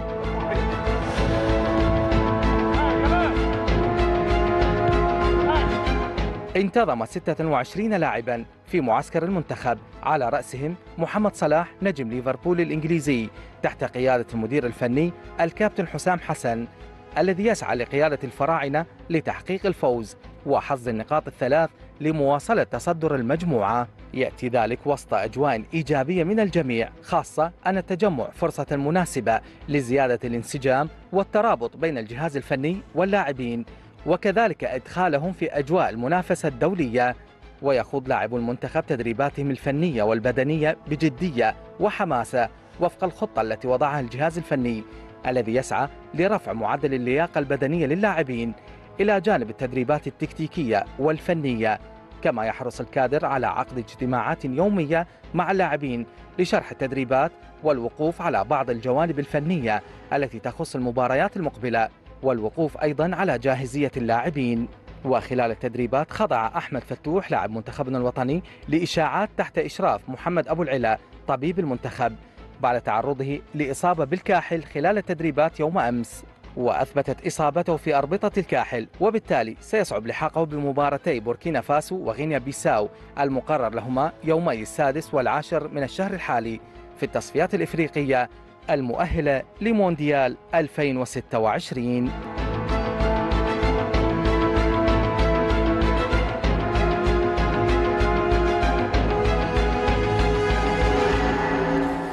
طيب منتخبنا الوطني ومباراتين مهمين جدا زي ما كنا بنتكلم في بداية الكلام ولكن خليني آخد بآخر خبر النهارده وأسعد أعتقد كثير من المصريين إن لم يكن كل المصريين لأنه كان هناك إجماع كبير جدا على أن عدم اختيار عمر كمال منذ بداية القائمة أو قائمة منذ بداية استدعاء قائمة المنتخب أعتقد كان عامل غضب شديد لكل الناس مش للأهلاوية فقط ولكن لكل الناس. دلوقتي كابتن حسام حسن الحقيقة اللي أنا بهنيه وبأحييه على ممكن كان مدرب تاني يكابر يعاند يعمل أي حاجة ولكن اختياره لعمر كمال في هذا التوقيت أعتقد اختيار جيد. اختيار جيد بس ليه كابر وليه يعاند؟ أنت هي مصلحة مش مصلحة شخصية. عشان آه يعني ممكن ممكن في ناس توديها لهذا الاتجاه. آه ماشي بس مدربين يشتغلوا بهذا الشكل. ممكن وأنت عارف. آه طبعا. عارف جدا عارف تمام. آه. يعني متأكد مش بس عارف يعني إن في مدرب يقول لك يقول لك أنا مش محتاج. خاصة خد بالك إن ده مش ال مش مش ال مش ال مش المكان الطبيعي بتاع عمر كمان. يعني إن هو يلعب left back بالظبط كده. أنت فاهم؟ فممكن يقول لك لا طب أنا هضمه ليه؟ طب أنا مش محتاجه. صحيح. بالنسبة لي مش مش هيبقى مفيد. ده ما بيلعبش left back فأنا مش صحيح. هجيبه. تمام؟ أو back شمال. لكن النهارده كون إن هو يبقى موجود ده معناه إن إن إن كولر لما حطه في الحتة دي كان كان محسن الاختيار فاهم قصدي؟ ما هو النهارده أنا لما أنا ماتش الاتحاد صحيح. مدير أنا مدير فني منتخب. يعني أقرر إن أنا أستدعي لعيب عشان يلعب أساسي عندي في المكان ده. بناء على أساسي صحيح. برافو عليك. بناء على إن هو كان لعب في الحتة دي مع النادي الأهلي قبل كده. فبالتالي أعتقد إن الأهلي كان صائب أو كان كولر صائب في الحتة دي. فمش هقول تحية لحسام حسن لكن هو بيقول لك إنقاذ لنفسه. أنا النهارده أنا أنا واخد لعيب يفيدني مش مش واخد لعيب يعني عنوة يعني ولا واخد لعيب مثلا بصالح بيه الجمهور عشان تسقف لي في الأول وفي الآخر. أنا في الآخر لو اتغلبت لا قدر كمنتخب مصر أو خرجت ما هو اللي ما هو مين مين مين اللي هيبقى هيلام؟ هو رقم واحد المدير الفني رقم واحد حسام حسن. فبالتالي اختياراته لازم تبقى مش عايز أقول مرضية لانك أنت مش ترضي كل الناس في الاختيارات. حقيقي. ولكن تبقى اختياراته صائبة 100% 100% أو أو أكتر من 100% أنا كمدير فني منتخب القماشة عندي كبيرة. القماشة عندي كتير عكس النادي. النادي أنت مرتبط بعدد 32 30 لعيب 28 6 على حسب القائمه مين وعلى حسب اللعيبة اللي جاهزه بالنسبة لك. لكن أنت كمدير فني منتخب عندك اختيارات كتير. عندك من عندك محترفين عندك لعيبة محلية عندك لعيبة ممكن تدور عليه عندك لعيبة من المنتخب الأولمبي عندك القماشة بتاعتك تقدر تفردها وتخرج منها 11 لعيب أو 18 لعيب يكونوا أفضل 18 بالنسبة لك في بعض الاختيارات لحسام حسن يعني من وجهة نظري الشخصية ما كانتش صائبة من وجهة نظري الشخصية أنا كمان في بعض التصريحات كمان لحسام حسن لم يح... لم يحال في التوفيق في بعض قبل ولا بعد؟ ما قبل ال- ال- البطولة على طول مباشرة لا قبل توليه المنتخب لا بعد توليه بعد المنتخب توليه أوكي. التصريحات ال- الم- ال- المؤخرة غير موفقه على الإطلاق. أنا كمدير فني طالع يعني أنا النهارده معلش أنا آسف يا إسلام. هو حسام حسن كان بيدرب فين قبل كده؟ في مصر. في, هولندا؟ لا في بلجيكا. في كل الدوري الانجليزي. كان بيدرب في الدوري المصري؟ صح, صح. يعني حافظ اللعيبة دي كلها. صح يعني عارف يعني لعب قصاد اللعيبة دي كلها آه أنت تقصد لما قال إن ما فيش آه مفيش يعني. طب وأنت آه. جاي تمسك المنتخب وقلت إن أنا هعمل وهسوي وهظبط وه- و- و- ويعني و- بس طلع نفى هذا الكلام يعني برضو أنا عارف إن هو قال وكل حاجة ولكن هو طلع نفى هذا الكلام يعني يعني أنفي بعد فالواجب ما- الإعلامي لازم يخليني أقول هذا الكلام ماشي هو طلع بس الكلام ده حصل آه. وكلنا حصل. عارفين إن الكلام ده آه، حصل آه، آه، تمام حقيقي. يعني أنا النهارده أنا إزاي قابل أنا النهارده لو أنا شايف إن المهمة صعبة بالنسبة لي خلاص أنا أرفع إيدي يا جماعة في التوقيت الحالي مش هقدر. اقود المنتخب أو مش هقدر أمسك المنتخب. لكن النهارده طب أنت ليه بتعمل جاب بالتصريحات ما بينك وبين اللعيبة؟ لما أنا ابقى لعيب محلي النهارده ويجي لعيب محلي النهارده مكسر الدنيا في الدوري العام مثلا يعني ويجي مدير فني يقول لك إيه؟ اللعيبة المحلية كلها ما ينفعش حد فيهم يروح المنتخب. هزعل هتضايق. هأحبط على الأقل. هقول لك مش جاي. صح. فاهم قصدي؟ أو لما هروح المنتخب بس خلي بالك هو في الآخر المنتخب مش منتخب حسام حسن هو منتخب مصر. آه بس مين اللي بيقود؟ حسام. أنت أنت راجل عاشرت مدربين كتير في منتخب مصر حقيقي. صح؟ حقيقي. وعاشرت مدربين لهم وجهات نظر مخت- مختلفة وعارف. إن وجهة نظر المدرب بتأثر على اللعيب نفسيا لا، لا، مليون في و... المية. و... طبعا فالنهاردة ال... الكلام ولسه كنا بنتكلم من شوية آه ولكن اللي يخليني أقول إن كابتن حسام ابت... يعني ابتدى يغير من منهجه مم. عودة عمر كمال ماشي، وجهه, حلو. وجهة نظري ماشي، ما أعرفش صح ولا غلط حلو حلو وجهة نظر كويسة خد بالك وإنك ترجع للحقائق وترجع للصح دي بداية التغيير الجيد. برافو عليك. من وجهة نظر. يعني حلو. ما هو خلاص. أنا النهارده رقم واحد في الآخر أنا. عايز مصلحة بلدي. رقم واحد بعد ما اتكلم نفى. مع إنه اتكلم بس نفى. ده. معناه إيه؟ إن أنا غلطت. تمام إن أنا غلطت. أنا أنا يا جماعة غلطت تمام؟ أوكي. فأنا بقول إن أنا غلطت أو يعني بس مش هقول إن أنا بالظبط. مش هقول إن أنا غلطت. بس أنا بس أنا أنا بعتذر تمام؟ بشكل indirect يعني بعتذر. تمام. تاني حاجة طب أنا أسأت الاختيار في الحتة دي وكان في لعيب يستحق. طب أنا اللعيب اللي يستحق ده إيه؟ خلاص أنا هجيبه تاني تمام؟ فدي وجهة نظر تانية. جيدة. اللي بنشوفه في مؤشرات جيدة. آه اللي آه طبعا مؤشرات جيدة. اللي بنشوفه في التعامل مع صلاح واللي بينشر والضحك والكلام و... وإن هو بيحاول آه، يحتوي يعني هيبان بعدين مش دلوقتي. برضه مؤشر جيد. جيد. يبقى في الملعب. الملعب بقى. وده الأهم الملعب. بقى. إزاي أنت شايف الأهم. الملعب؟ حسام حسن في الملعب بص. مع مجموعة اللاعبين اللي أنا بشوف إن هم لاعبين جيدين. حلو. إحنا اتفرجنا على المنتخب مصر في الماتشات ال- ال- البطولة الوديه اللي اتلعبت. بغض النظر سواء إذا كان المدير الفني جاي آه، بقاله فترة أو جاي بقاله مدة صغيرة أو مدة طويلة. ولكن المدير الفني دايما المنتخب هو بيلعب على الأفكار. تمام؟ هو ما عندوش الوقت الكبير جدا يفضل يعدل ويحط وي... لا هو عنده مجموعة لعيبة المفترض إن هي بتكون جاهزة. هو بيوظف كل لعيب وهو بيحط تكتيك يخلي الناس تشتغل عليه. والكلام ده خلال 3 4 أيام مش خلال سنة.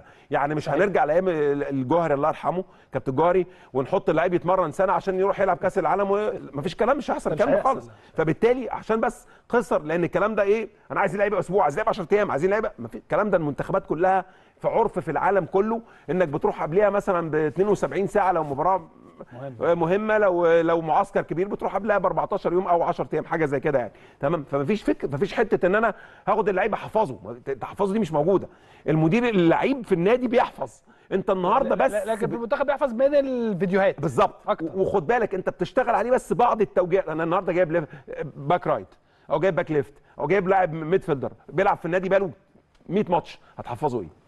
انت بس بتقول له إيه؟ طب بص إحنا هنزيد. لا مش هنزيد. طب هنقف في الحتة دي؟ حقيقي. طب هنغطي حقيقي. في الحتة دي؟ حاجات بسيطة جدا جدا جدا شايف منتخب مصر. إزاي؟ بتشكيل يبدأ إزاي؟ آه، في مباراة تبدو مش تبدو هي الأهم. آه طبعا. في خلال هذه الفترة. بص يعني, يعني شناوي شوبير مين؟ عواد أعتقد أو آه، مهدي. آه، شوف أقول لك على حاجة. يعني الموضوع من وجهة نظري الشخصية يعني طبعا الشناوي حارس عنده قيمة كبيرة جدا ولكن في الوقت الحالي الأجهز شوبير. فنيا أوكي. وبدنيا ممكن يكون مصطفى شوبير. حلو. الأجهز انت فنيا انت بتقول. شوبير. يمين. آه بالظبط. آه يمين يلعب آه، يعني هاني؟ هاني, هيلعب يمين. مفيش هاني هيلعب يمين.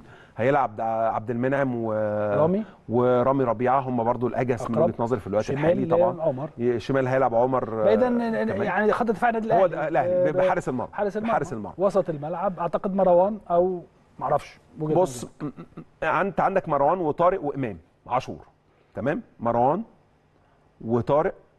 طارق مين؟ آه آه لا طارق إيه؟ طارق مش موجود آه. طارق مش موجود. لا أنا بقول لك اللعيبة اللي موجودة في مصر في الحتة. آه. أنت بتتكلم عن معسكر يعني. آه. لا يبقى مروان أو عندك كمان آه إمام آه إمام عاشور في الحتة دي. آه عندك خد أحمد آه كوكا مم. تمام؟ فأنا مروان وإمام من وجهة نظري هم وأكرم. وأكرم توفيق. بس من وجهة فتحي. وحمدي فتحي. بس ما أنا شايف مروان وإمام لو هيلعب 4 2 3 1 أوكي مروان وإمام. مروان وإمام حلو. الأجهز ماشي، من وجهة نظري. الشخصية. هيلعب صلاح ومرموش لا وهيلعب مرموش مصاب مش آه هيجي. ما صح سوري مرموش ما جاش. تريزيجيه. ناحية شمال. محمد مين اللي تحته؟ بص أنا أنا وجهة نظري الشخصية يدي مصطفى فتحي في في, في ماتش زي ده. مصطفى فتحي؟ آه. طب ومين اللي هيلعب تحت؟ ما هو ده مصطفى.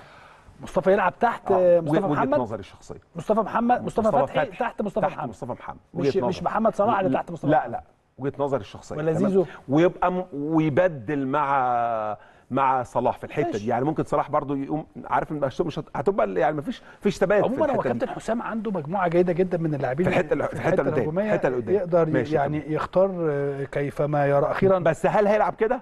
لا مش هيلعب كده أنا أنا بقول لك وجهة نظري يعني أمال هيلعب إزاي؟ لا طبعا هيرجع بقى للطبيعه لل...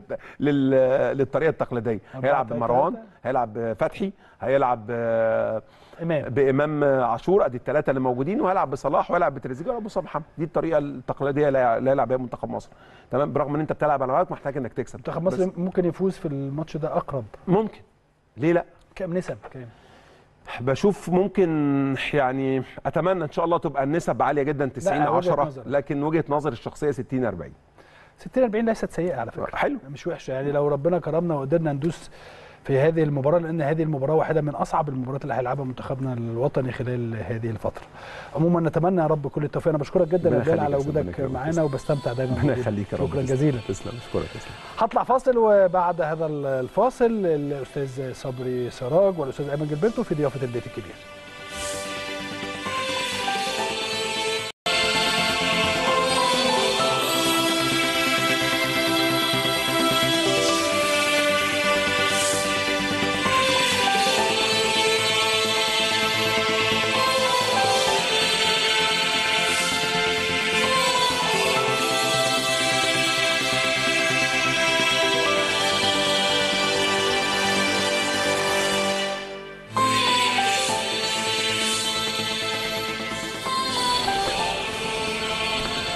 وسهلا بحضراتكم مرة أخرى أعزائي المشاهدين. خلوني أرحب بضيوفي وضيوف حضراتكم في هذه الفقرة. أستاذ أيمن جيلبرتو ازيك يا أيمن؟ كابتن. أخبارك إيه؟ كله تمام؟ الحمد لله. أيضا أستاذ صبري سراج ازيك يا أستاذ صبري؟ مساء الفل يا كابتن حبيبي؟ الحمد كله لله. تمام؟ بعدين كابتن أيمن آه، انتر كونتيننتال بعد كده. آه مالناش علاقة يا جماعة مش هنسأل حاجة النهارده لأيمن غير انت كنت هنعمل إيه يا أيمن في انت كنت بقوا خمس فرق دلوقتي اهو خلاص. آه واضحين آه كمان ناقص فرقة في أمريكا. بس أمريكا الجنوبية لسه شوية لأن هم تقريبا لسه في المجموعات أو لسه مخلصين آه، المجموعات آه، لسه لسه قدامهم كام شهر يعني. بس دلوقتي وقت خلاص. الأهلي ريال مدريد آه باتشوكا المكسيكي والعين أوكلاند الإماراتي وأوكلاند سيتي. صحيح. يتبقى فريق واحد فقط في أمريكا آه، أمريكا الجنوبية. عموما آه، برضو إحنا بنتكلم آه، موضوع ريال مدريد والأهلي واضح إن هو عامل قصة لبعض الناس. أنا ما أعرفش ليه مزعل الناس إن آه. إحنا بنقول أهلي وريال. مدريد. هو مش إحنا بس العالم آه، كله العالم كله على يعني. فكرة أنشيلوتي بيقول كده.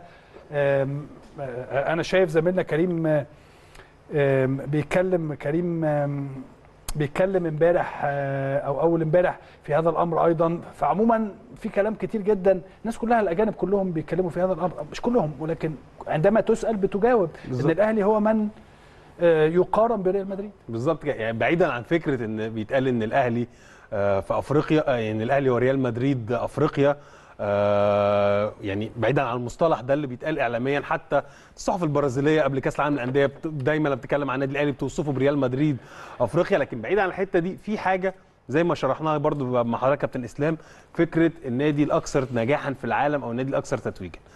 ده مفيش كاس مفيش حضرتك يا كابتن إسلام مفيش كاس اسمه كاس الاكثر تتويجا. لا ده لقب أو سلوجان أو أي حاجة ميلان كان حاطه في فترة الفترات على التيشيرت بتاعه. وكان مشهور بيه وبيبيع بيه. ليه يا عم ميلان انت النادي الأكثر نجاحا؟ نقدر نقول للناس إيه في حاجة زي آه. دي؟ أو للجمهور إيه؟ نقدر نقول لهم إنه لقب نادي القرن ده لقب رسمي طالع من الاتحاد ال- أفريقي. الأفريقي. لا يمكن لأي نادي آخر أن يضع هذا اللقب على التيشيرت بتاعه إلا النادي الأهلي فقط. بالظبط كده. ده الفرق ما بين لقب رسمي ولقب تسويقي. تسويقي بالظبط كده. أكثر من أي أمر آخر. بالظبط كده. فهو اللقب ده ال- كل اللي حصل إن النادي الأهلي في 2014 من خلال كمان الإعلام الإيطالي اللي هو العكس اللي ضد ميلان وشعبية النادي الأهلي. الناس ابتدت تقول إيه ده؟ ده النادي الأهلي خد بطولة بالمناسبة بطولة الكونفدرالية اللي هي في 2014 okay. و آه، أو اللي هو وقتها دي كانت البطولة رقم 20 لكن اللي قبلها لا كانت السوبر الأفريقي وقتها كان السوبر الأفريقي اللي قبليها. بتاعت آه، الصفاقسي وإن النادي الأهلي عدى ميلان وابتدى الموضوع ده يتفتح في إيطاليا. وابتدى حتى الناس في إيطاليا تقول لك لا ده هي إيه يعني إيه ده البطولات في أفريقيا مختلفة والبطولات في أوروبا والقصة دي. لكن في الآخر الناس احترمت فكرة إن هم حاطين معايير للسلوجن ده. وبالتالي النادي الأهلي قدر بعد كده بعد ما كسب الكونفدرالية وبقى 20 لقب صحيح. بقى يستخدم يتداول هذا السلوجن أو هذا الشعار وبيسوق بيه. النادي الاكثر بالظبط النادي الأكثر تتويجا في العالم. عارفين إن إحنا الأقرب لريال مدريد. بالظبط وممكن ننزل بج... ننزل بالجدول. ورينا بالظبط ورينا كده. سمير لو سمحت. ان الناس بتتعامل مع هذا الأمر إزاي. اتفضل. النهارده أهو ده النادي الأكثر نجاحا في العالم. أو اللي هو يعني هو الأكثر تتويجاً. هو فيما معناه أو معايير الأكثر تتويجا. ريال مدريد 30 لقب النادي الأهلي 26 بعد كده هتلاقي بوكا جونيورز 22 برشلونة 20 وبالمناسبة برشلونة حاطط ثلاث بطولات الناس بتقعد تتكلم انت حطيتهم إزاي؟ اللي هم كاس المعارض دول. آه. محدش فاهم هم حطهم إزاي بس يعني لأن هو ما فيش حاجة رسمية تقدر آه، تقول آه، كانوا بيلعبوا على العربية. تقيس عليه آه. تقيس عليها القصة دي. فتمام برشلونة 2020 اندبندنتي الارجنتيني آه، 20 وميلان 18 طيب أنا عايز بقى إيه للناس اللي بتتكلم على المقارنة أو بتقول لك أنتوا هتقارنوا أوروبا وأفريقيا. وبت... واشمعنى النقط ومش... والقصة دي. تعال نخش في صورة اللي جاية دي كابتن إسلام. والحمد لله إن هي موجودة كانت في الأرشيف ولسه موجودة. ده خبر رسمي نزل في الموقع الرسمي نادي برشلونة. okay. في الف... أغسطس 2015 هنستعرضه دلوقتي الخبر ده. ده خبر في موقع رسمي. هم وقتها برشلونة كان بيقول إيه؟ بيقول إن إحنا تخطينا عدد البطولات القارية في أوروبا أهو. بصوا هما بيتكلموا عن الويفا ranking لل international title ترتيب أندية أوروبا في البطولات القارية. وحتى تلاقي في أول آه paragraph أهو في ال- في الخبر إن برشلونة انتقل إن هو بقى النادي ال most successful club in term of international trophies إن النادي برشلونة من خ... بقى النادي الأكثر نجاحا في أوروبا من خلال معايير ال- البطولات الدولية. than ريال مدريد and اي سي ميلان بالظبط كده. فوق. فوق آه فوق. هو بيتكلم إن هم بقوا وصلوا وقتها 19 لقب عدوا ريال مدريد وإي سي ميلان. ميلان اللي هم عندهم 18 more than 1 بالظبط. يعني أكتر من وال- واحد. والخبر ده كان في أغسطس 2015 تكملة الخبر ده كابتن إسلام آه. وده خبر في الموقع الرسمي لبرشلونة. هم بيفتخروا بإن هم بقوا النادي الاكثر نجاحا في أوروبا في ذلك الوقت. okay. تكملة الخبر الصورة اللي بعدها. بص هنا كملوا إن هم بيشرحوا إن هم عدوا ال- ريال مدريد وميلان وفي الليستة دي في ليفربول وبايرن ميونخ ويوفنتوس اللي هم عندهم كان وقتها 11 طيب كاتبين بقى في ما يخص العالمية إن هم في ديسمبر في وقتها يعني في أيوة. ديسمبر هم هي عندهم الفرصة إن هم يزودوا لقب كمان من خلال كأس العالم. العالم للأندية اللي كانت وقتها أعتقد في اليابان عشان يبقوا يتعادلوا مع ال most successful club in the world in term of international titles اللي هو مين؟ الأهلي وحتى هم حاطين جدول وقتها بيتكلموا في الويفا clubs برشلونة 19 ريال مدريد 18 إي سي ميلان مين يا 18 أولاد اللي بيقول الكلام ده؟ ده برشلونة هم اللي بيقولوا مش إحنا. وقتها يعني هم يعني. وبرشلونه وقتها هو قارن عادي الكونفدرالية اللي الأهلي خدها بأوروبا وقارن دوري أبطال أفريقيا اللي الأهلي خده بأوروبا. اهو الناحية الثانية الفيفا clubs الأهلي 20 لقب برشلونة 19 ريال مدريد 18 ميلان 18 برشلونة بعد كده خلاص ريال مدريد كسب وعدى وريال مدريد بالمناسبة كنادي هم ما, بي ما بيستخدموش هذا ال- ال- اللقب اللي هو الأكثر نجاحا هم بيعتبروا صح نادي القرن إحنا النادي الأفضل في لا بس العالم. أنشيلوتي تقريبا اتكلم عنه في آخر هم لازم- بالظبط، آه بيتكلم. لأنه مهم قال إن إحنا استفدنا بإن إحنا خدنا بطولة تخلينا الأقرب إلى الأكثر تتويجا في العالم. بالظبط كده. أو إحنا الأكثر تتويجا في العالم. بالظبط كده. فالنهاردة انت وعلى فكرة بالمناسبة زميلنا إبراهيم عبد الجواد بعد ما نادي الزمالك توج بالكونفدرالية هو كتب إن نادي الزمالك عادل بايرن ميونخ وليفربول في الأكثر تتويجا وكان في زملاء صحفيين بيطلعوا يتكلموا عن هذا الأمر إن في الحسبة بتاعة الأكثر نجاحا نادي الزمالك آه، من خلال تتويجه بالكونفدرالية وصل لرقم جيد. معرفش ليه أول لما اتقال إن النادي الأهلي قرب لريال مدريد بعد كده لما ريال مدريد كسب لا ريال مدريد رجع وبنتكلم في المقارنة دي. في ناس زعلت أو في ناس قاعدة تقول لك إيه الكونفدرالية ودوري الأبطال وكأس العالم للأندية فدي قصة باختصار عشان بس إحنا ليه بنو... بنقول الكلام ده كابتن إسلام؟ بنوضح لجمهورنا حاجة جميلة جدا إن أنت بص أنت بتتقارن بمين؟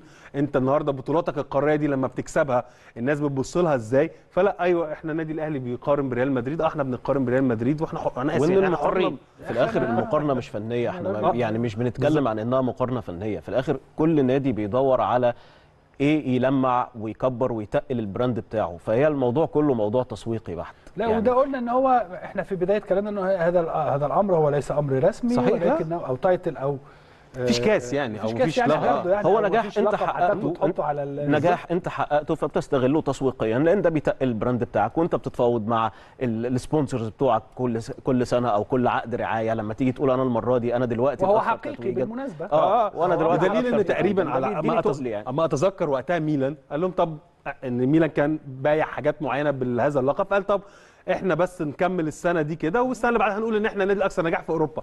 فبرشلونة لما عدى هو لعب على الحتة دي عشان برضو يعني هي كلها حاجة- كلها حاجات حاجات بين الأندية لطيفة والناس بيقول لك أنا اللي كسبت أكتر وأنا الأكثر شعبيه فانا يعني إحنا مع ريال مدريد خل إحنا مع ريال مدريد. اللي مش عاجبه هو حر بس في الآخر يعني هي دي المعايير. والمعايير بالمناسبة أنت اللي معترض هو كان بيستخدمها حاليا لما هو قرب ما ده لانديه بنشوفه ثانية كتير ما هناك. بعض يعني بتلاقي مثلا اعلامي طلع يتكلم عن إن الكذا وكذا وكذا وكذا والمعايير والمش عارف إيه وهو طلع يتكلم في فهتلاقي دايما المعايير مغلوطة مع النادي الأهلي أو المعايير مختلفة مع النادي الأهلي بالظبط. دايما اللي عايز يبص على إن هو مش بيحب الأهلي هيطلع كل اللي هو بالظبط. عايزه بالمعايير اللي هو عايزها بالظبط كده وفي هذا الإطار الدنيا رايقة وحلوة. زمالك آه، كسبان ال- ال- البطولة اللي اسمها إيه؟ الكونفدراليه والأهلي كسبان دوري أبطال آه، أفريقيا والكلام لطيف وكل حاجة. ولكن ما تزال الشائعات الخاصة ب آه، يعني يا جماعة ما تروحوا تتكلموا على أي نادي غير النادي الأهلي. هو ما فيش غير النادي الأهلي. الزمالك كسبان بالمناسبة برضه. روحوا اتكلموا عن. الزمالك روحوا اتكلموا عن الإسماعيلي روحوا اتكلموا عن ال- ال- البيراميدز روحوا اتكلموا عن أي نادي في مصر. اشمعنى النادي الأهلي دائما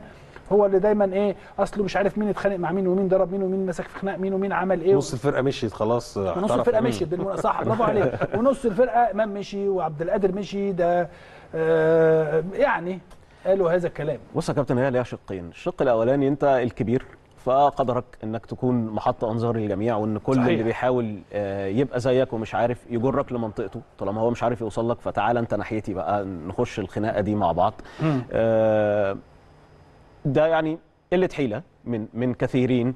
آه، منها جزء حتى برضو يعني وإحنا بنتكلم عن موضوع الألقاب. آه، أنت شايف أنت زعلان عشان في خناقة ما بين أو في كلام إن الأهلي وريال مدريد بيتحطوا في جملة مفيدة في في آه، سلوجان أو لقب شرفي تسويقي تماما. في حين إن أنت نف- نفسك لما خسرت لقب نادي القرن فأنت رحت بتكتب على مطبوعاتك كلها وبتسوق للنادي الأكثر حصدا للألقاب في القرن العشرين. محدش قال لك أنت بتعمل إيه؟ ما حقيقة. انت الاكثر حصدا للالقاب الافريقيه في القرن العشرين. هو مش لقب انت مش واخده من جهه رسميه لكن شيء بيساعدك تسويقيا. برافو عليك انك عملت كده.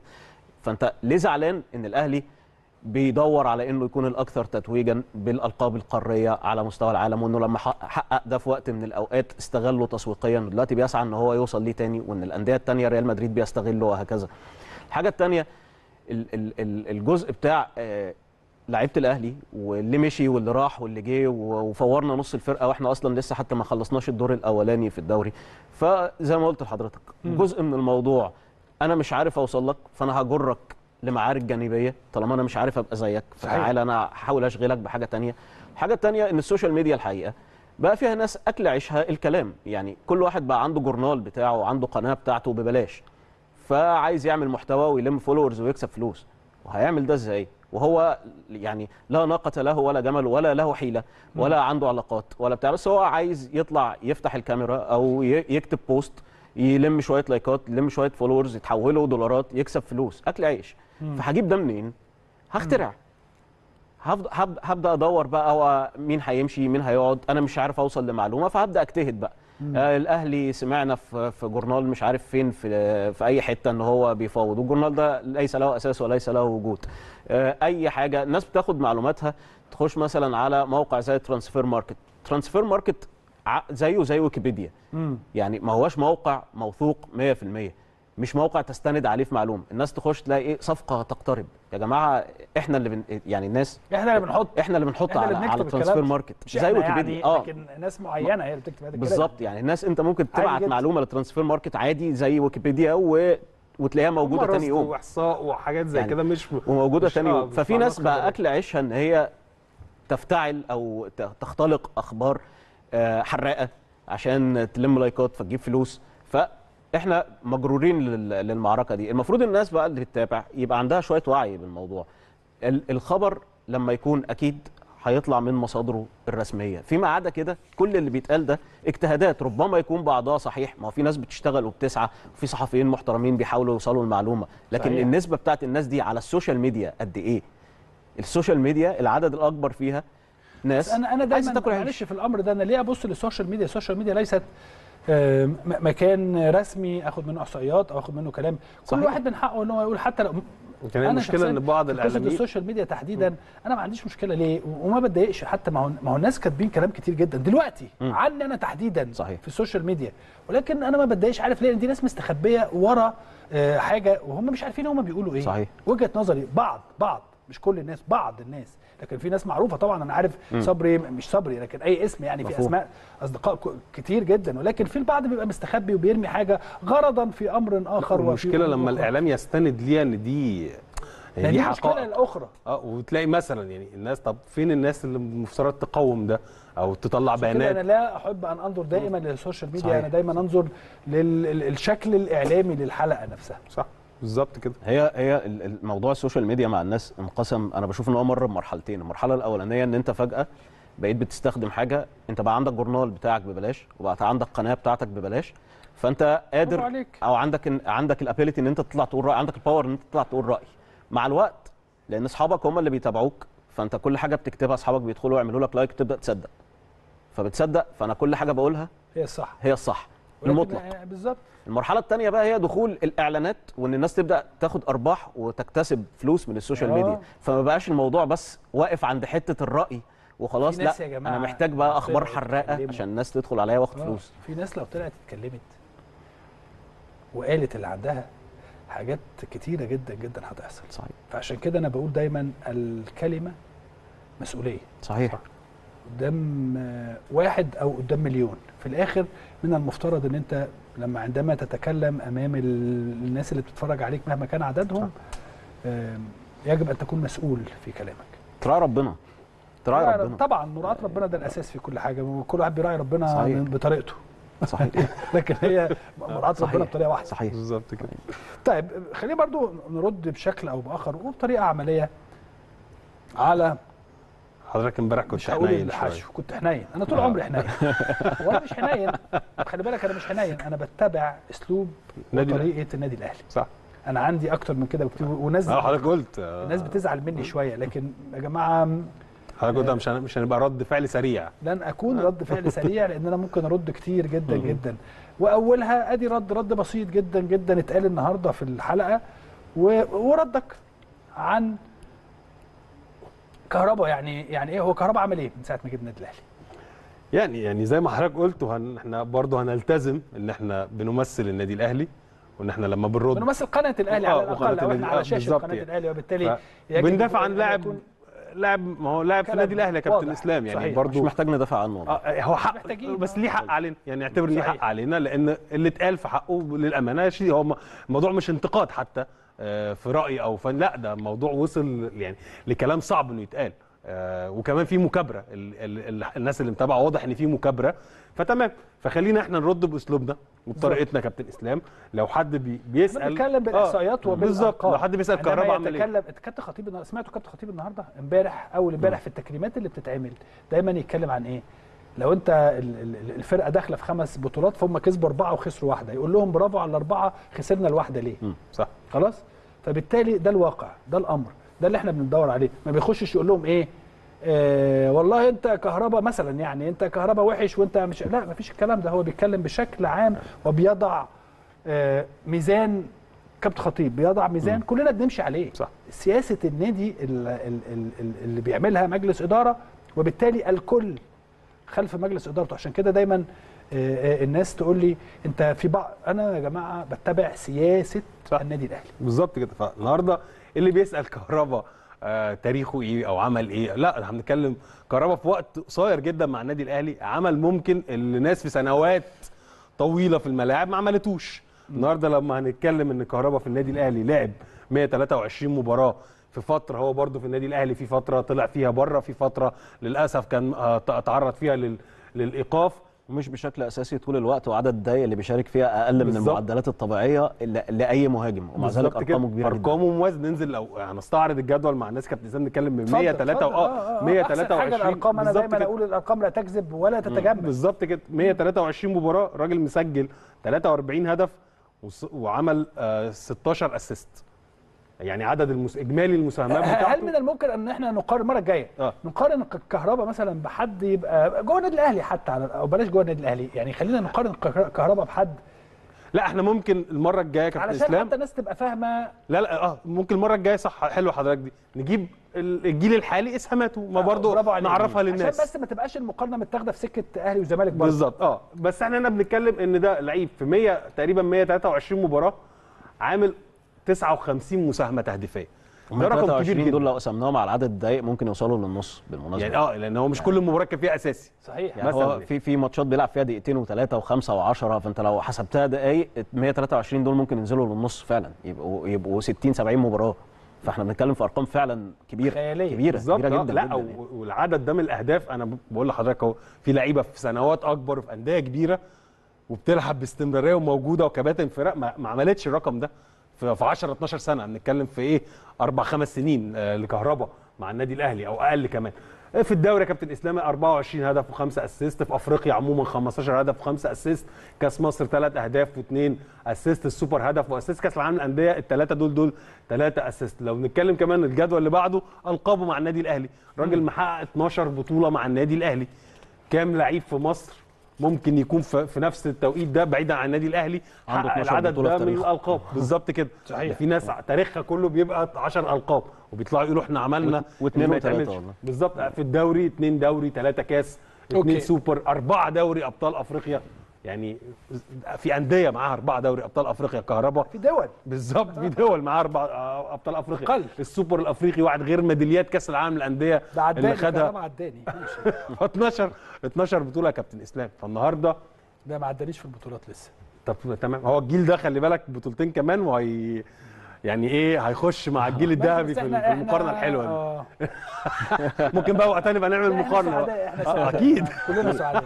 كأهلاوية طبعا. بالظبط. فالنهاردة كابتن إسلام اللي شايف إن كهربا لعيب مش مشهور أو لعيب لا كهربا لعيب مشهور بيلعب في النادي الأكثر شهرة وشعبية في مصر وأفريقيا والوطن العربي والعالم محقق بطولات وعامل أهداف وأسس يعني النهارده أنت مش بتتكلم عن لعيب آه، جه سنة أو سنتين النادي الأهلي عمل بطولتين ثلاثة ومشي. لا أنت بتتكلم عن لعيب صاحب تاريخ. حتى لو فترة قليلة هو عمل تاريخ ساهم في جزء من التاريخ اللي اتعمل. فالنهارده الكلام عليه حتى لو أنت هتنت... عايز تنتقد تصريح عايز تنتقد وجهة النظر طيب. من حقك. لكن إن أنت تتهكم عليه وتتهجم عليه بهذا الأسلوب أعتقد إن ده ظلم. وأنا كنت يعني طبعا بعد إذن حضرتك وأنا شايف هو من حقه علينا إن إحنا نرد له غيبته يعني. صبري. أنا عايز أقول كلمتين واقفين في في, في زوري بقالهم شوية الحقيقة. قول و... يعني أنا بس الف- الفكرة في إيه؟ يعني أنا ما ينفعش كإعلامي أطلع أدي زمايلي دروس في المهنية وأنا بخرق كل قواعد المهنية. يعني بستغل برنامج في قناة عامة أنا بشتغل فيه مذيع في إن أنا أدافع عن النادي اللي أنا بشتغل فيه متحدث. وه... ودي ودي مش مساحة دي مش المساحة اللي مخصصة لده. انت مش طالع على قناة النادي. ما أنا قلت- طالع في قناة عامة. خلاص. بت بتكلم بت بتكلم زمايلك وبتعاتب فلان وبتعاتب صحيح. علان وانت في نفس ال- الحلقة. طيب. بت بت بتهاجم لاعب. انت. مش بس انت وصلت لمرحلة إن أنت وطبعا. الفيديوهات دي بدأت تتشال. لا ده ده, ده إحنا وصلنا لمرحلة إن إحنا امبارح آه. آه. أنا يعني أنا رديت في الرد امبارح. ما هو ايمن بيقول لك كذا لكن إحنا قلنا إيه؟ ده مش عارف مين في الشارع هيشوفك يعمل فيك إيه وبتاع. يعني آه، كلام ما- لن لا يصدر من حد مهني. فعل. إحنا قلنا امبارح لن نكون رد فعل سريع. ولكن ممكن جدا نكون رد فعل. صحيح. ولكن لن نكون رد فعل سريع نظرا للعلاقات المحترمة ما بين مجالس ده, ده اللي اتقال. ده كان الرد من, من خلي بالكم الرد ده من وجهة نظري الشخصية. صحيح. وليس من حد قال لي طبعا. أنا بتكلم من وجهة نظري الشخصية. فاحنا قلنا لن نكون رد فعل سريع وبالتالي شفنا إن بعض الفيديوهات اتشالت لأنه حصل.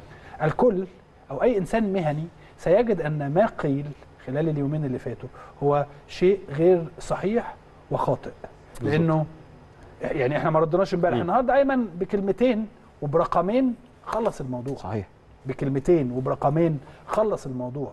وبالتالي لو طلع اتكلم كده تاني ساعتها هيكون رد فعل سريع. صحيح. وهيكون أقوى. بغض النظر. طيب. ال- ال- ال- المنتخب الوطني وإصابة أحمد فتوح ومحمد حمدي مش موجود إنذارين أو ثلاث إنذارات. عمر كمال واستدعائه ومش استدعائه فقط هو الأقرب بنسبة 90 95% للعب هو طبعا يعني القايمة من من أول ما ما أعلن عنها من قبل الجهاز الفني لمنتخب مصر وهي كان فيها مشكلة واضحة. انت رايح باثنين back left واحد أصلا راح المعسكر مصاب بغض النظر عن الإصابة بتاعت النهارده مش هي كمان الإصابة اللي هو كان داخل بيها. وواحد موقوف آه، المباراة الأولانية اللي هي المباراة الأهم. فأنت كنت عامل حسابك كابتن حسام على إيه؟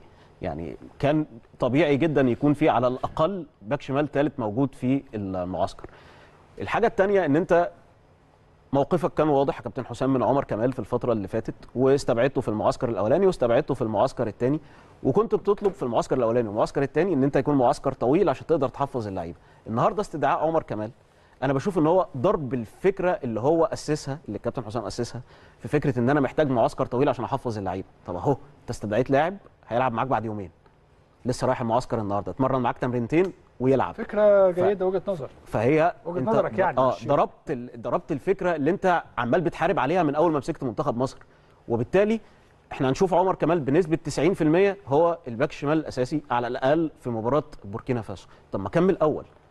وحتى لو مش عمر كمال يعني حتى لو مش عمر كمال الفكرة في إنك رايح داخل المعسكر باثنين واحد 100% مش موجود في المباراة الأولى والتاني بنسبة 50% على الأقل مش موجود. طب ما في أكتر من باك شمال موجود في مصر وفي أكتر من لاعب يقدر يقوم بنفس الدور. يعني هو استدعى عمر كمال عشان عمر كمال بيقدر يقوم بنفس الدور.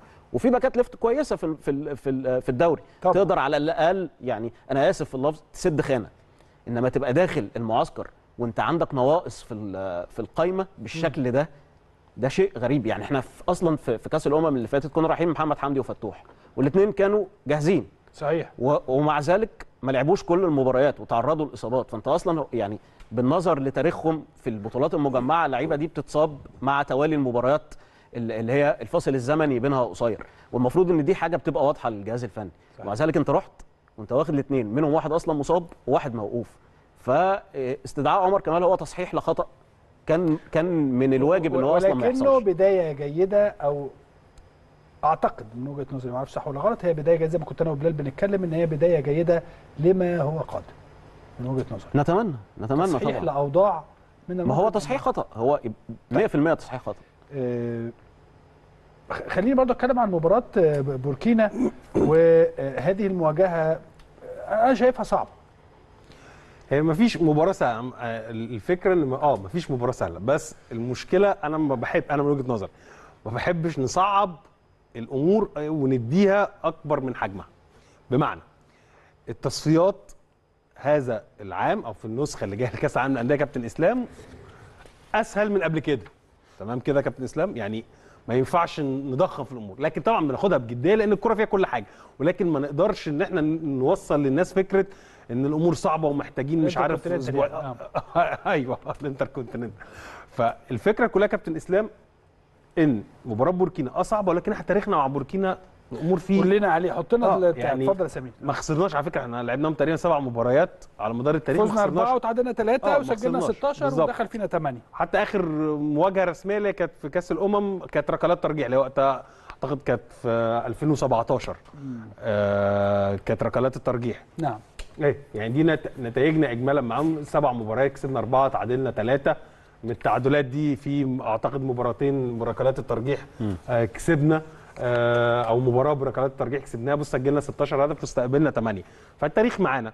حتى التصنيف معانا إحنا بعيد. حتى لو بوركينا في نسخة الأمم الأفريقية الأخيرة كانت أفضل أداء من منتخب مصر آه كمنتخب. ولكن يبقى إن في فوارق وفي فوارق في التاريخ وفي التصنيف كل حاجة. وفي, وفي كل حاجة. فلازم ده نحطه في بالنا. ولكن نقول 27 لعيب الكابتن حسام قال إن هم 27 لعيب آه، محترف مع بوركينا. تمام ما يعني برضو حاجة تحترم أكيد ليهم وحاجة تديهم ثقل وهم التصنيف الثاني اللي معانا في المجموعة. ولكن أقصد يعني أنت مش معاك جنوب أفريقيا مش معاك آه، مثلا الكاميرون لما في فتره فترات ممكن تقول في التصنيف لما كانت وقتها المجموعات بتاخد خمسة يعني بيبقى في خمس بس فرق من التصنيف الأول وخمس فرق من التصنيف الثاني وهكذا.